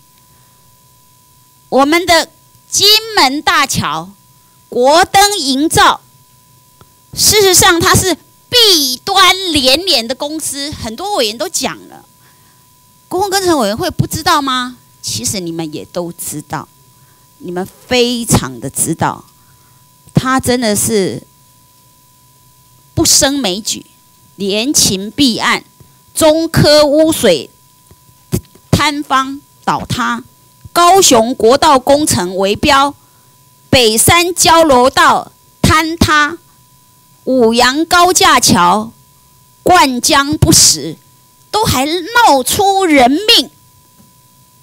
结果，金门大桥那时候在招标的时候，主委那时候在招标哦，招标它其实已经被列为不良厂商哦。结果呢，招标，他得标，但是还没有签约。诸位，如果是你，你会怎么做？他已经被公共工程委员会列为不良厂商，但是他还是去标金门大桥，他还得标，但是还没有签约。如果是你，你会怎么做？我会先厘清再签约，我会先确认他有履约能力才签约。好，非常好。你会先厘清，你不用厘清了，他已经被公共工程委员会列为不良厂商了，你还要厘清什么？我我赞成你一半，我赞赏你一半，叫做你不会马上去签约，但是他已经被列为不良厂商了，你会怎么办？这个也就是今天台湾很多重大工程用最低价标绝标，哦，所以不是哦，不一样，不一样。主委，我再清楚的讲一次，虽然时间很有限，他已经被公共工程委员会列为不良厂商。我早上我前面讲这么多了，联勤弊案、中科污水弊案、国道高雄路段的弊案、北山交流道的摊方、五羊高架桥高灌浆不实摊方的时候，还死了几条人命，这样的不良厂商，这样的不良厂商被公共工程委员会都已经列为不良厂商了。但是他得标了金门大桥，还没有签约，你会怎么样？我再讲了一次了。对，现在跟叶兆景的问题就出在这里。我们大家都知道他账面上很多不良的记录，但是他没有被停权，他没有被停权就可以参加投标。诸位不对呢，列为不良厂商就被停权了呢？没有吧？没有停权，他们、他们、他们、他们那个当时是没有被停权的。哦，不良厂商不用停权了。他可能是哈还没有刊登嘛，还没有刊登就没有算停权。好，诸位，那你的意思呢？这样的话，你还是要继续听这些事务官的这样做吗？没有我觉得还没有刊登，所以你就继续让他继续跟他签约吗？我我我觉得未来像不良厂商这一种记录那么清楚，而且你在争议申诉审议的阶段，我觉得要加速，不然的话他就一直用时间，然后在这个时间又可以去投标很多工程，这样一直持续下去，对台湾的公共工程来讲，的确啊是不好的。你可以再讲的更明确一点吗？我我很怕我误会了你的意思。你的意思是说，在这种情形，虽然他得标了，但是还没有签约，而他有这些记录，虽然这些记录还没有上网公告，你还是会暂停签约，等到公告，是不是？对，我是采购机，我是对哦，讲大声一点，我是不是？采购机关，我就会暂停。但是因为我不是采购机关，我会做建议，做严正的建议。好，你会做严正的建议。你不是采购机关，但是你会做严正的建议。好，非常好哈。好，严正的建议有没有用啊？哈，这就是我们今天不是啦，这就是我们再来可能要认真思考公共工程委员会有没有作用的时候。如果公共工程委员会的严正建议没有用，如果公共工程委员会对各单位的这个呃考核没有用，如果公共工程委员会列为不良厂商，他照样得标，那要公共工程委员会做什么？是不是，主委？对，所以我刚刚也特别跟叶兆景提到，在实质的进行当中要加速，这不能够有时候一个不良厂商，呃，很清楚了，但是他可以几年都没有被停权，我觉得都这个一定要认真检讨。最后一点时间哈，还是金门大桥，这样绝对不能放过他。他现在把最简单的不用技术的陆地的做完了，深潮区他说他不做了，他不会做，他不会做，他就不应该来招标。他不会做，他来，他就是吃定你政府，要么你就无底洞的一直给钱，要么你就再收回来。你收回来要花比原来的还更多的钱呢。本来这一整个标的时候是截长补短，是要有技术的，结果呢是算长度截长补短啊，不是吗？结果呢，现在我们可能还要花更多的钱来收拾这个善后，所以企业的解释最熟悉的是工程会，除了要依约扣款、划钱清算以外，我认为罚金的时候，罚金绝对不能少。好，我认为责任的归属一定要追究到底。诸位，诸位，不能让他只有赚到路上的工程采购，然后呢，深潮区我们还要花更多的钱去招标，这样不行哦。好，好，你同意哈？好，那最后哈，最后我还是要再说一下哈。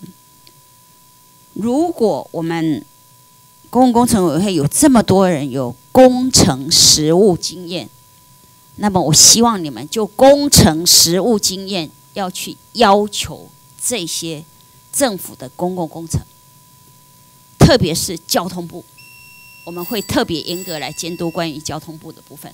但是包括国营事业，包括整个国家的公共工程委员会，我们希望你们真的能够不要只有只有纸上作业，真的不要只有坐在办公室里面考核哈，数据管。管控数据考核不够，我们希望你们贡献你们的实质的工工程经验，谢谢。好，谢谢叶兆新。好，谢谢叶一金委员。那刚才叶一金委员有要求的资料，再麻烦工程会提供。那另外叶一金委员刚所提到，就是说不良厂商被提报到申诉阶段，在还没有公告之前，这段过程的抢标行为啊，这个也麻烦工程会要有办法好。那接下来我们请徐增卫委员。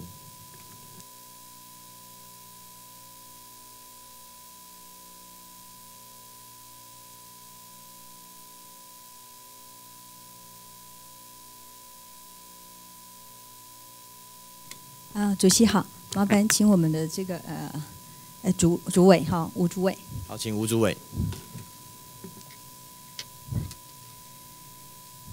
徐委员好。主委好。嗯，首先呢，真的还是要这个感谢我们工程会啊，对华东两县啊，这个呃我们的长期的我们灾损的建设经费长期的不足哈，我们这个工程会都予以非常大的支持和协助。尤以尤其是啊，这个花东啊两这个两线的海岸线占全国东海岸的大概四分之三，所以地震多，还有我们的灾害哈，这个台风多。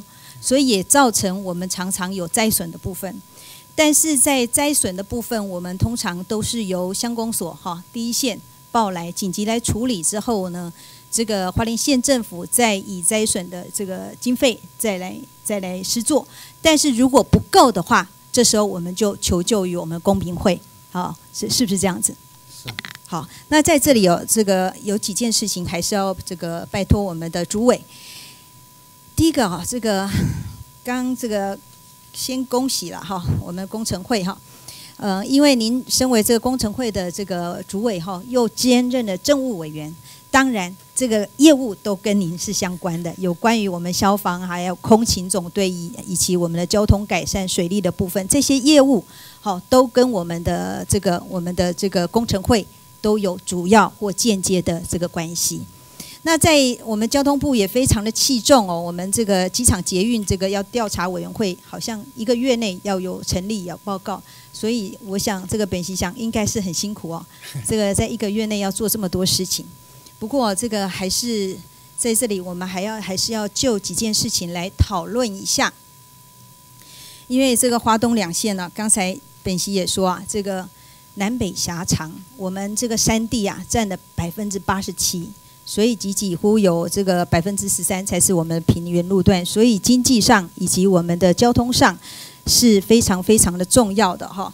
那所以因为交通的不便，我们常常在做这个工程的评估的时候、预算的时候，好，因为我们的工程会这个都以西部的角度来看东部的工程，都一样的，但是花东两线啊。交通不便，所以我们往往的这个运输成本提高非常非常的多。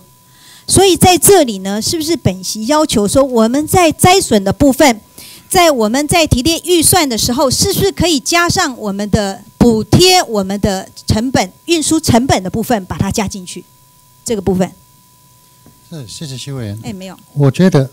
这个是应该的啊，就是因为因地制宜的工程经费啊，哦，谢谢，真的谢谢主委这个同理相待哦，因地制宜，真的非常非常非常感谢。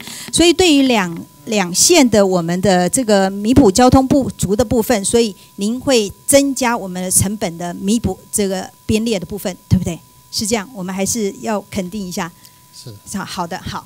那另外哈，就是这个我们抢灾啊，这个这个抢灾救灾离灾要复建，好，这个是一个重大的关键。所以呢，这个兵贵神速啊，尤其是现在气候的变迁，我们的汛期都已经拉长了。好，请问一下我们的主委，现在我们汛期通常是几月到几月？我们汛期是从五月一日到十一月底。是，那所以现在几几乎有时候到十二月都有都有台风，哈，都有台。所以整个汛期拉长以后呢，这个我们这个现在，诶，另现在汛期拉长以后，我们很多的灾损就会出现了。那我们通常在报的时候，到工程会的时候呢，我们好像两个礼拜就要去会勘，就要去审核，对不对？但是通常啊，我们整个我们的这个这个委员会通常都是希望会诊全国的灾损以后，再来去实地探勘、实地实地审核。所以也就是这样，因此延误到我们抢灾救灾的部分。所以在这边是不是可以缩短我们到现刊、会刊以及审核的部分？是，谢谢徐委员。我觉得每个地方他提报的资料完整，就应该去会刊。是，所以但是以现在我们目前的经验，以目前的这个法则来看，几几乎都是一个月以上，拖了一个月以上才去看。所以如果是这样的话，没有办法，因为人我们的人力有限的部分。所以我们要尽量将我们的这个离灾做好，还要做复建的部分。所以是不是我们的工程会是不是有一个方便，就是说在一千万以下的工程，受由地方政府来做，然后您再来做检核的部分？哦，这因为这样的效率会比较好。这个我们来来研究哈，是看用怎么样的方式能够又快又能够确保品质。哦，这一部分我们再来研究。好的用跟我们地方政府怎么样来合作？哦，是这个应该有一个比较好的模式了。的确是因为这个地方政府其实很希望将这个我们的道路能抢通，而且能更坚更加的坚固，而不是不是一般的只是通而已。好，这个这个人民的生命财产安全还是非常非常重要。还有一个就是我们花莲县的花六十四线的部分，其实花六十四线的部分，这个呃可能这个部分不算是我们这个工程会的这个业务。但是啊，我们实在是求助无门，尤其是花六十四线是我们这个阿美族唯一的山地的阿美族部落出入的地方。那个地方因为它在海岸山山脉上面，所以每逢大雨、每逢台风，它就路基坍方。然后，当然我们的交通部给予支持，可是每一次修复就每一次在每一年要摊。所以地方政府、乡公所、县政府实在无力去重建在维养，那是一条唯一这个我们这个奇美部落出入的路，还有是我们秀姑峦溪观光的重道。所以在这里，是不是我们工程会的部分，是不是可以来协助这个部分花六十四的部分，是和我们交通部一起来研议？因为地方政府实在无力维养。是，谢谢徐委员，我们愿意跟交通部哦一起来协助了哈。是不过那个道路这样听起来好像长期不稳定。是的所以将来有什么样的方式，我们再来啊、现场了解。是因为它路面掏空，路基也掏空，是是。所以真的地方政府穷县呐、很可怜。好，拜托我们的这个主委能协助。好，谢谢。好，谢谢徐委员。哎，谢谢徐正伟徐委员。接下来我们请施义方委员。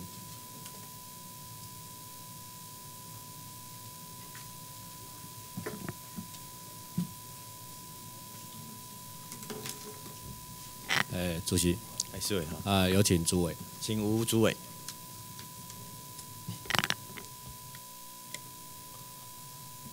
诸位好，啊四委员好。那个我在你的那个业务报告里面有看到那个短期的政策，那短期的政策里面有提到国家的重要工程。那今天也有很多委员问到金门大桥，那当然在工程会的宣示是说要如期如职的完工。那金门大桥的进度是严重的落后。那我要问的是说，在金门大桥这一个工程在新建过程里面，它查核的次数是多少？那给它的平等的等级是多少？有没有办法回答？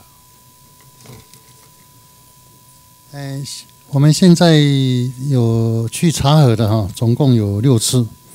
那六次里面，啊，有五次是这个成绩是乙的嘛，七十七十几分都是乙的，一等的。那针对那个工期的部分给予的分数是怎么样的分数？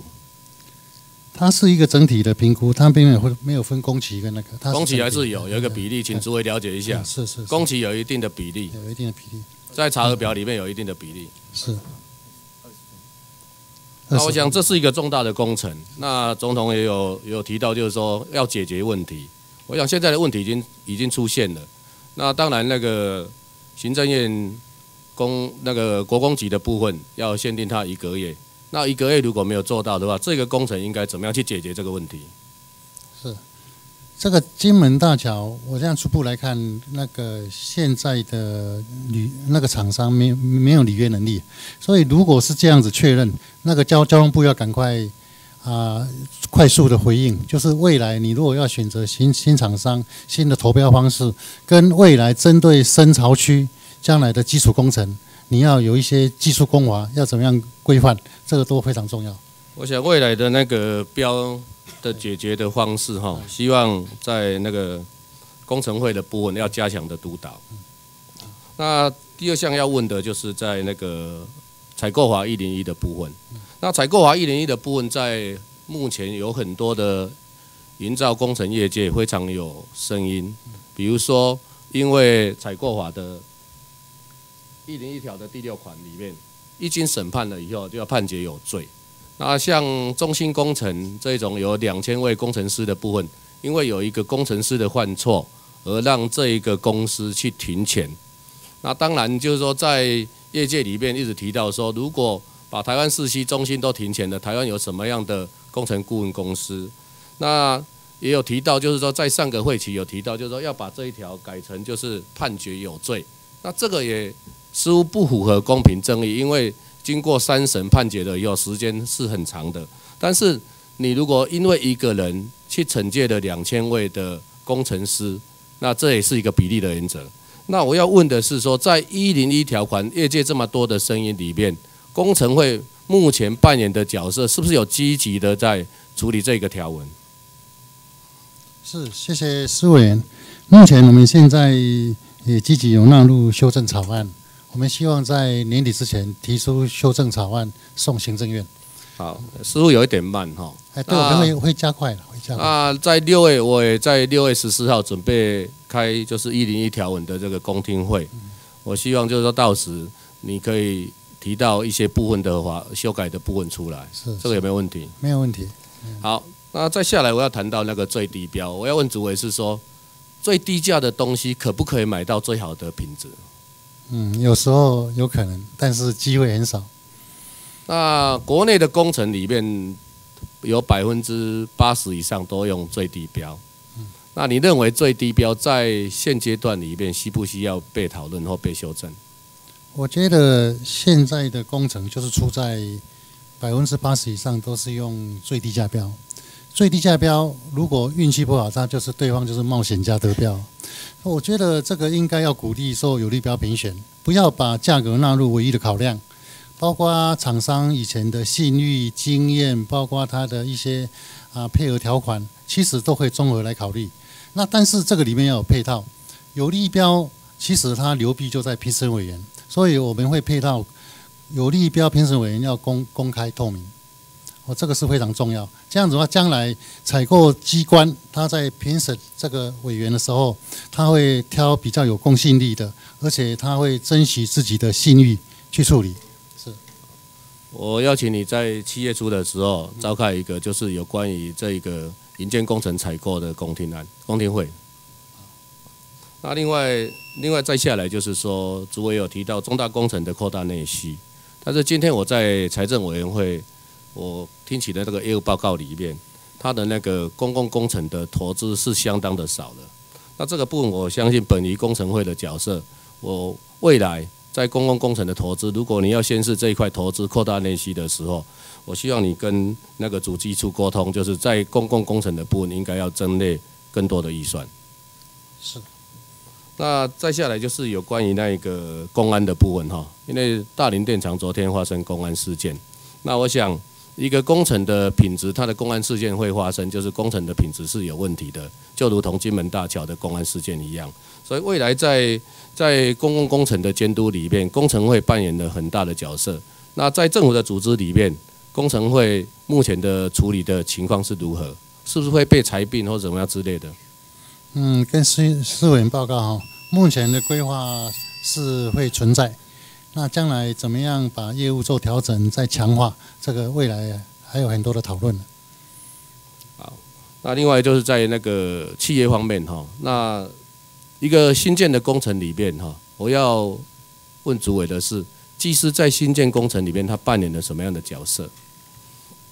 技师他应该在新建工程里面是一个非常专业的角色。他所有的里面新建工程里面的专业技术，全部要由技师来承担了。好，那在国内的公共工程的企业里面，哈，有所谓的劳安啊、品管、人业的费用。那技师既然是在建设里面，他是这么样的重要的角色，那为什么在这个公共工程的企业里面，一直都没有技师的人业的编列？对。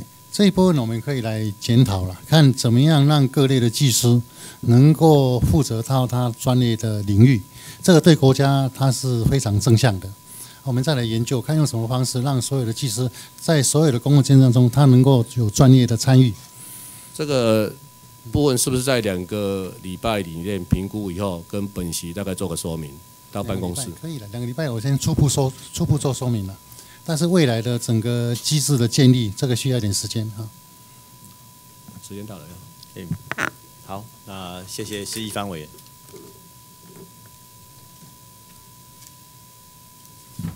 接下来我们请赖瑞荣委员。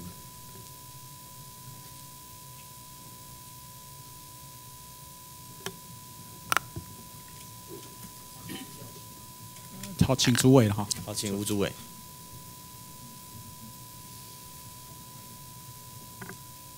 哎主委好，好，主委辛苦了哈，好，谢谢。我想过去你在呃高雄市政府然后长期在高雄市政府，我想你对公共工程的品质哈，包括如期如此然后印象都很深刻的哈。我我想高雄这几年的整个重大的工程的，不管是时间时程或品质哈，我想都有目共睹了。我想也是因为这样子哈，蔡英文总统跟林权院长了哈，也借重你的长才了，也希望。未来在台湾的重要重大的公共工程里面，都能够借由你跟团队的努力的哈，让它的品质来得更好哈。好，谢谢。那那接下来我想先请教了哈，那个嗯魏武营呃艺术中心这一块哈，是对我我想这一块其实您当时也在高雄市政府服务了哈，其实这个工程做了相当长的一段时间了哈，包括我看前几天陈局市长也到现场去，也也很不开心，又又严了哈，他从。呃，二零零五年的时候，延宕开始延宕，呃，原先预定二零零九年要完工，哦，那拖了五次，哦，包括五次整个呃工程延后了哈，那到了延了八年，那最后现在看来是预定在今年底呃有机会来完工了哈，但不知道还会不会再延哈，那预定明年度度来这个试营运跟对外开放了哈，呃，我作为就你的经验来看，呃，这个你你有没有信心啊，在年底能够顺利来？来完工是啊，谢谢赖委员哈。啊，这个是亚洲最大的艺文中心了。这个我们年底会要求他取得使用执照，包括把所有的开放空间围里全部拆除，提供给市民使用。至于他有策展，这个明年要启用，坐落在明年的八月九月，这个他们要及早规划。好，所以最主要是开放空间的部分，跟整个公园的场域。所以你你的经验里面，为什么这个会延宕了这么长的时间？就您过去的整个经验来看，它有很多的波折，包括跟原来的规划设计，包括跟施工厂商，还有很多的界面，它分包特别的多，所以它界面很多，所以这个将来在整合上都有困难。所以未来也希望借重那个工程会的力量更进去了，公共工程委员会的力量更进去，能够协助各个部会啦。我想很多部会都在新建相关的一些重大工程，那不见得是最专业，不见得最有经验哦。我们希望未来公共工程委员会在这里扮演更积极性的一个角色了哈，来协助各个部会来完成重大的一些工程。好，谢谢赖委员的勉励。好，那再来是我我我的选区里面哈，前镇小港，呃，高雄港的连外高架道路了哈，这个对高雄港非常重要的一个的一个建设了哈。那但不见得是你们列管的事项，但是我还是希望说你们能够持续来关注了哈，因为这个连外高架道路从呃原先最早预定在一百零三年要来完工，哈，但是后来它的北段北段在去年哈，呃完工了哈，但是南段的部分哦遇到了相当多的一些问题，包括嗯、土地回收问题，包括甚至气爆后的管线迁移的问题哈，嗯、工程一带的延哈，那现在预定是到一百零六年底才能够完成啊，那但是这是说法啦，听呃港务公司的说法，好像甚至要到一百零七年。这一块不知道主委有了解吗？还是是谢谢赖委员。嗯，这个我有初步去做了解。它这个在一百零六年完工，它有几个前提，就刚刚特别提到的，像管线的迁改，包括它现在地上物的处理都完成了，那剩下就是刚刚讲的那个南端的部分。所以这一部分的话，我们会啊、会紧密的要求我们施工单位，包括啥，如果所有的问题都克服了，那你就应该按照所有的里程碑来推动。那希望在明年年底能够如期完成，因为它这个拖很久了。对，这个这个真的也是拖很久了。魏无营哦超级久啊，这个也非常久啊，这个还涉及到更大，因为魏无营还只是译文早晚的问题，啊这个是涉及到是大货货柜车在那边跑，哦，生命财产，还有一个拆除准备要施工一个工这个工工程啊，这么长的时间，几乎处于一个工地的状态，这么长的时间，真的对前镇的周边的居民非常大的一个困扰。我我想副市长在那边也很久，应该也了解，这个也要麻烦副市长了，就是诶麻烦主委了哈，请你能够多多的盯紧这个工程了哈，然后协助港务公司、协助交通部这边哈，能够如期如职来完工了哈，明年年底是好不好？这个麻烦。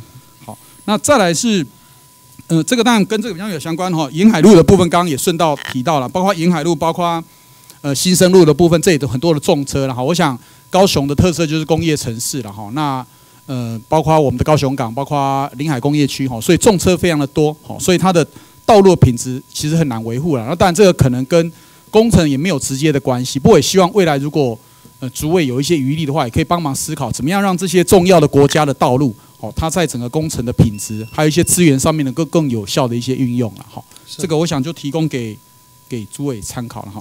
那在旅运大楼也是很重要的，然后我想这几年高雄很多重大的工程，旅运大楼部分原先也是预定呃在一百零二年要完工哈，但是现在呃不断也是不断的在拖延啊，包括到一百零四年哈，甚至于现在可能要到呃这个一百零六年都还不见得能够完工了哈。这一块可能要麻烦，因为这一块牵扯到将来我们的邮轮产业的发展哈，高雄港的一个新的呃港区的一些发展，这个也相当重要。那一样了哈，它一样是港务公司那边在处理，但是一样进度也是严重的落后，这个可能要麻烦主委能够积极的介入去去协助了。啊，谢谢赖委员。这个优龙母港这部分，我们也会请我们工程会这边把它纳入指标性的工程来严格列管。好，最后一个是海洋文化及流行音乐中心，一样了哈，这也是亚洲新湾区讲的五大重要工程之一了哈。那有几个已经顺利的完成，那这一块的进度也是一样哈，也是目前要展延到一百零八年，也是希望这一块主委也能够再加强力道了哈，把把高雄的这些所有相关重大的工程哈，能够帮忙抓紧它的时程哈，如期如职来完工。是，谢谢赖委员。这个工程在我离开高雄市政府之前，我有再协调过一次，一百零七年年底一定要完成。一百零七年年底一定要完成好好，谢谢主委哈，谢谢，好谢谢麻烦赖委员谢谢。谢谢赖瑞龙委员。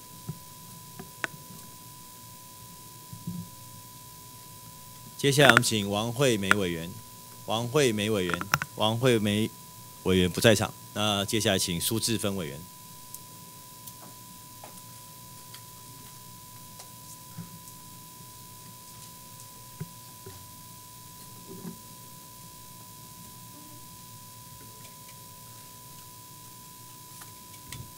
那主席是不是请诸位好吗？啊，请吴主委。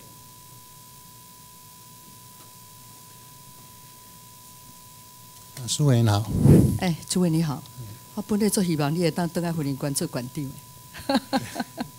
呃，不过你伫高雄市的话，是当恭喜咱啊，咱市长讲重用了哈，很重用的。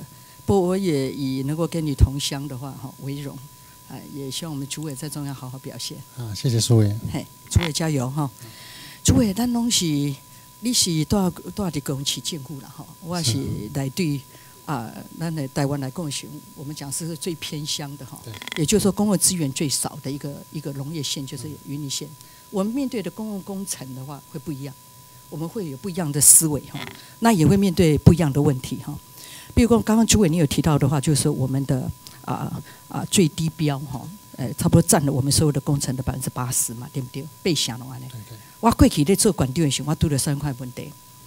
等级的岗顶的时候，我们心里有数，他大概要一百万才做得起来。但是你知道吗？对有一挂九转的公司，有一寡的是哦品质不好的公司。他就是用这样子低价抢标了，好，第二面造成这样，造成我们真的非常大、非常大的困扰，哎，但是那种工程可能很小，或许的话，未来你在高居这个哦公共工程委员会主委这个位置的话，或许的话你不会去注意到，哦，也不会去关心到。我是在这边提醒主委，其实哈这样子累积起来，累积起来的案子非常的多。啊，刚才注意咱嘛怎样嘛吼？那讲的是新道、县道还是商业道路？辟油嘛吼？好，咱辟油的时候爱铺的高度是无共嘛，但是吼，咱用无共款的要求无共款的工程的品质，但是咱的车辆实际上是地方无材料管制，对不对？对，所以你讲大台拖拉机车，伊嘛甲你塞入去商业道路，所以商业道路就是真紧的派去的对。好，说面对这种地方政府碰到的一些很棘手的问题，好，我是觉得说，哎，主委或许可以关心一下。后来，咱有一寡，比如讲吼。啊，咱有一寡滴水的工程，滴水等咧施工的时，大台拖拉机的时，大台工程车一进进出出，伊嘛甲所有的道路拢搞歹去就对了。好，这嘛是解决大问题嘛？好，这大问题，所以我我我就想说，是主委就是跟你交换一下意见哦。面对地方政府的话，面对到这些的问题，啊，公共工程委员会怎么样把这个小案子，其实是在地方来讲是形成一些大的问题。啊，过来注意第三样不？咱全台湾有一个吼骑行。很扭曲的，叫做沥青工会，你猜不？主委你不要乱，里面那么多的弊端，里面那么多的黑暗的事情，联合垄断，后面就是因为有一位教父，那离婚等的时的时人，哦，迄教父的他首当首塞的对了，啊，所甲比如讲的时，哇，一声两声三声，我感觉这种的物件，感觉真恐怖呢。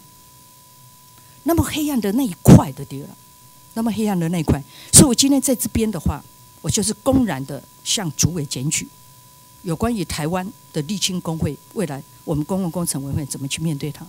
你怎么改革？要怎么改革？主委，你应该知道我讲的意思嘛？我看你的表情，我知道你讲的意思。我们做我们在政府里头这样子出来的人的话，尤其在地方啊。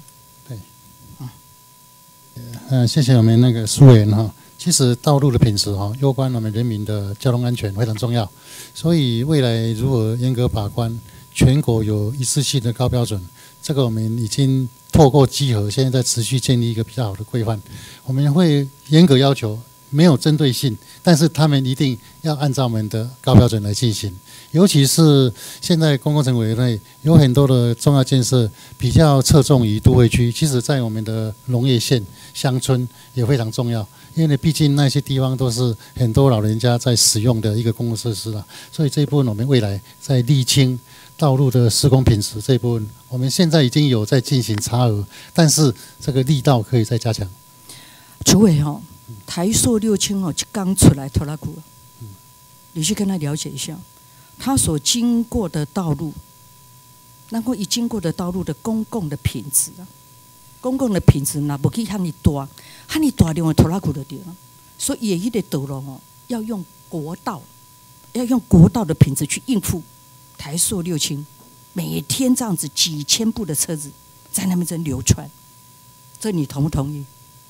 这对，但是目前全在云林县有哪一条台塑从台塑出它的厂门，哪一条是它的专用道路？没有一条。那么哪一条它所经过的道路是用国道那铺辟有的品质来面对和你大量的这个车底下的硬底下的搞的掉了？所以这是一个做严肃的问题哦，迄是对阮地方来讲是真不公平。所以我我希望是下一次的话，如果我在这个委员会的在跟主委这样子咨询的时候，我希望主委你可以给我一个答案，给我一个答案的时候，哈你多转世界，它是全世界最大的哦，上中下，上中下全部这样子石油裂解，就在同样一个基地，它是全世界就是它最大。好，那么那么大的一个上下上中下的一个石油裂解，就在同样一个基地里面，所以你看，达钢可以掐量的丢了。你车辆来讲时，我讲你要起一条高速公路去去安怎去应付台塑料轻，所以毋是阮遐管得一五三来一五四，或者是云一云云三，迄无可能，迄无可能去应付迄个点。所以大概这几年哦，这十几年来回到自己的故乡哦，我咧看这个公共工程，我看到咱的龙路、商业道路，我嘛看得心有戚戚的。我做做无偌久来讲时咯，不到一年的寿命，都是告判去。啊，为虾米？因为都是大重型的车辆，都是经过遐嘛。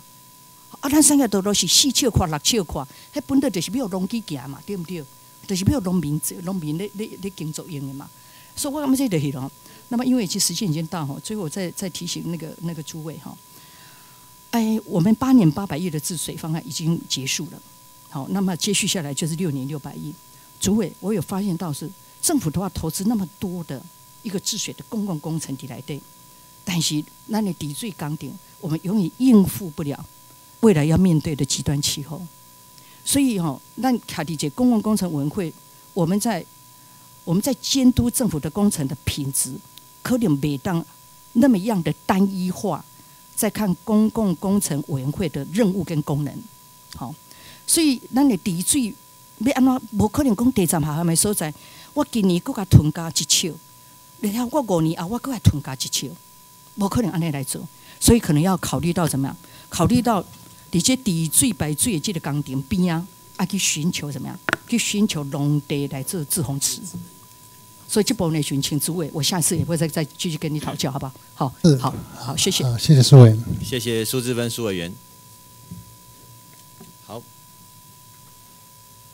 接下来我们请徐永明徐委员，徐永明徐委员，徐永明徐委员不在场。吴坤玉吴委员，吴坤玉吴委员，吴坤玉吴委员不在场。李彦秀委员，李彦秀委员，李彦秀委员不在场。陈雪生委员，陈雪生委员，陈雪生委员不在场。吴志阳委员，吴志阳委员，吴志阳委员不在场。赖世宝委员，赖世宝委员，赖世宝委员不在场。陈怡杰委员，陈怡杰委员，陈怡杰委员不在场。张立善委员，张立善委员，张立善委员不在场。蒋乃新委员，蒋乃新委员，蒋乃新委员不在场。庄瑞雄委员，庄瑞雄委员，庄瑞雄委员不在场。吴思瑶委员，吴思瑶委员，吴思瑶委员不在场。陈明文委员，陈明文委员，陈明文委员不在场。何新存委员，何新存委员，何新存委员不在场。蔡义瑜委员，蔡义瑜委员，蔡义瑜委员不在场。黄伟哲委员，黄伟哲委员，黄伟哲委员不在场。管碧玲委员，管碧玲委员，管碧玲委员不在场。苏正清委员，苏正清委员，苏正清委员不在场。高金素梅委员，高金素梅委员，高金素梅委员不在场。周陈秀霞委员，周陈秀霞委员，周陈秀霞委员不在场。吕玉玲委员，吕玉玲委员。吕玉玲委员不在场，罗明才委员，罗明才委员，罗明才委员不在场，江启成委员，江启成委员，江启成委员不在场，黄昭顺委员，黄昭顺委员，黄昭顺委员不在场。好，今本日登记咨询委员均已发言完毕，另作以下处理。委员徐真卫咨询另提书面补充意见。委员简东明所提书面质询均列入记录，并刊登公报。针对今天会议，做如下决决定：一、报告及询答完毕；二、委员于质询中要求提供相关书面资料或未及答复部分，请行政院公共工程委员会尽速以书面答复。散会。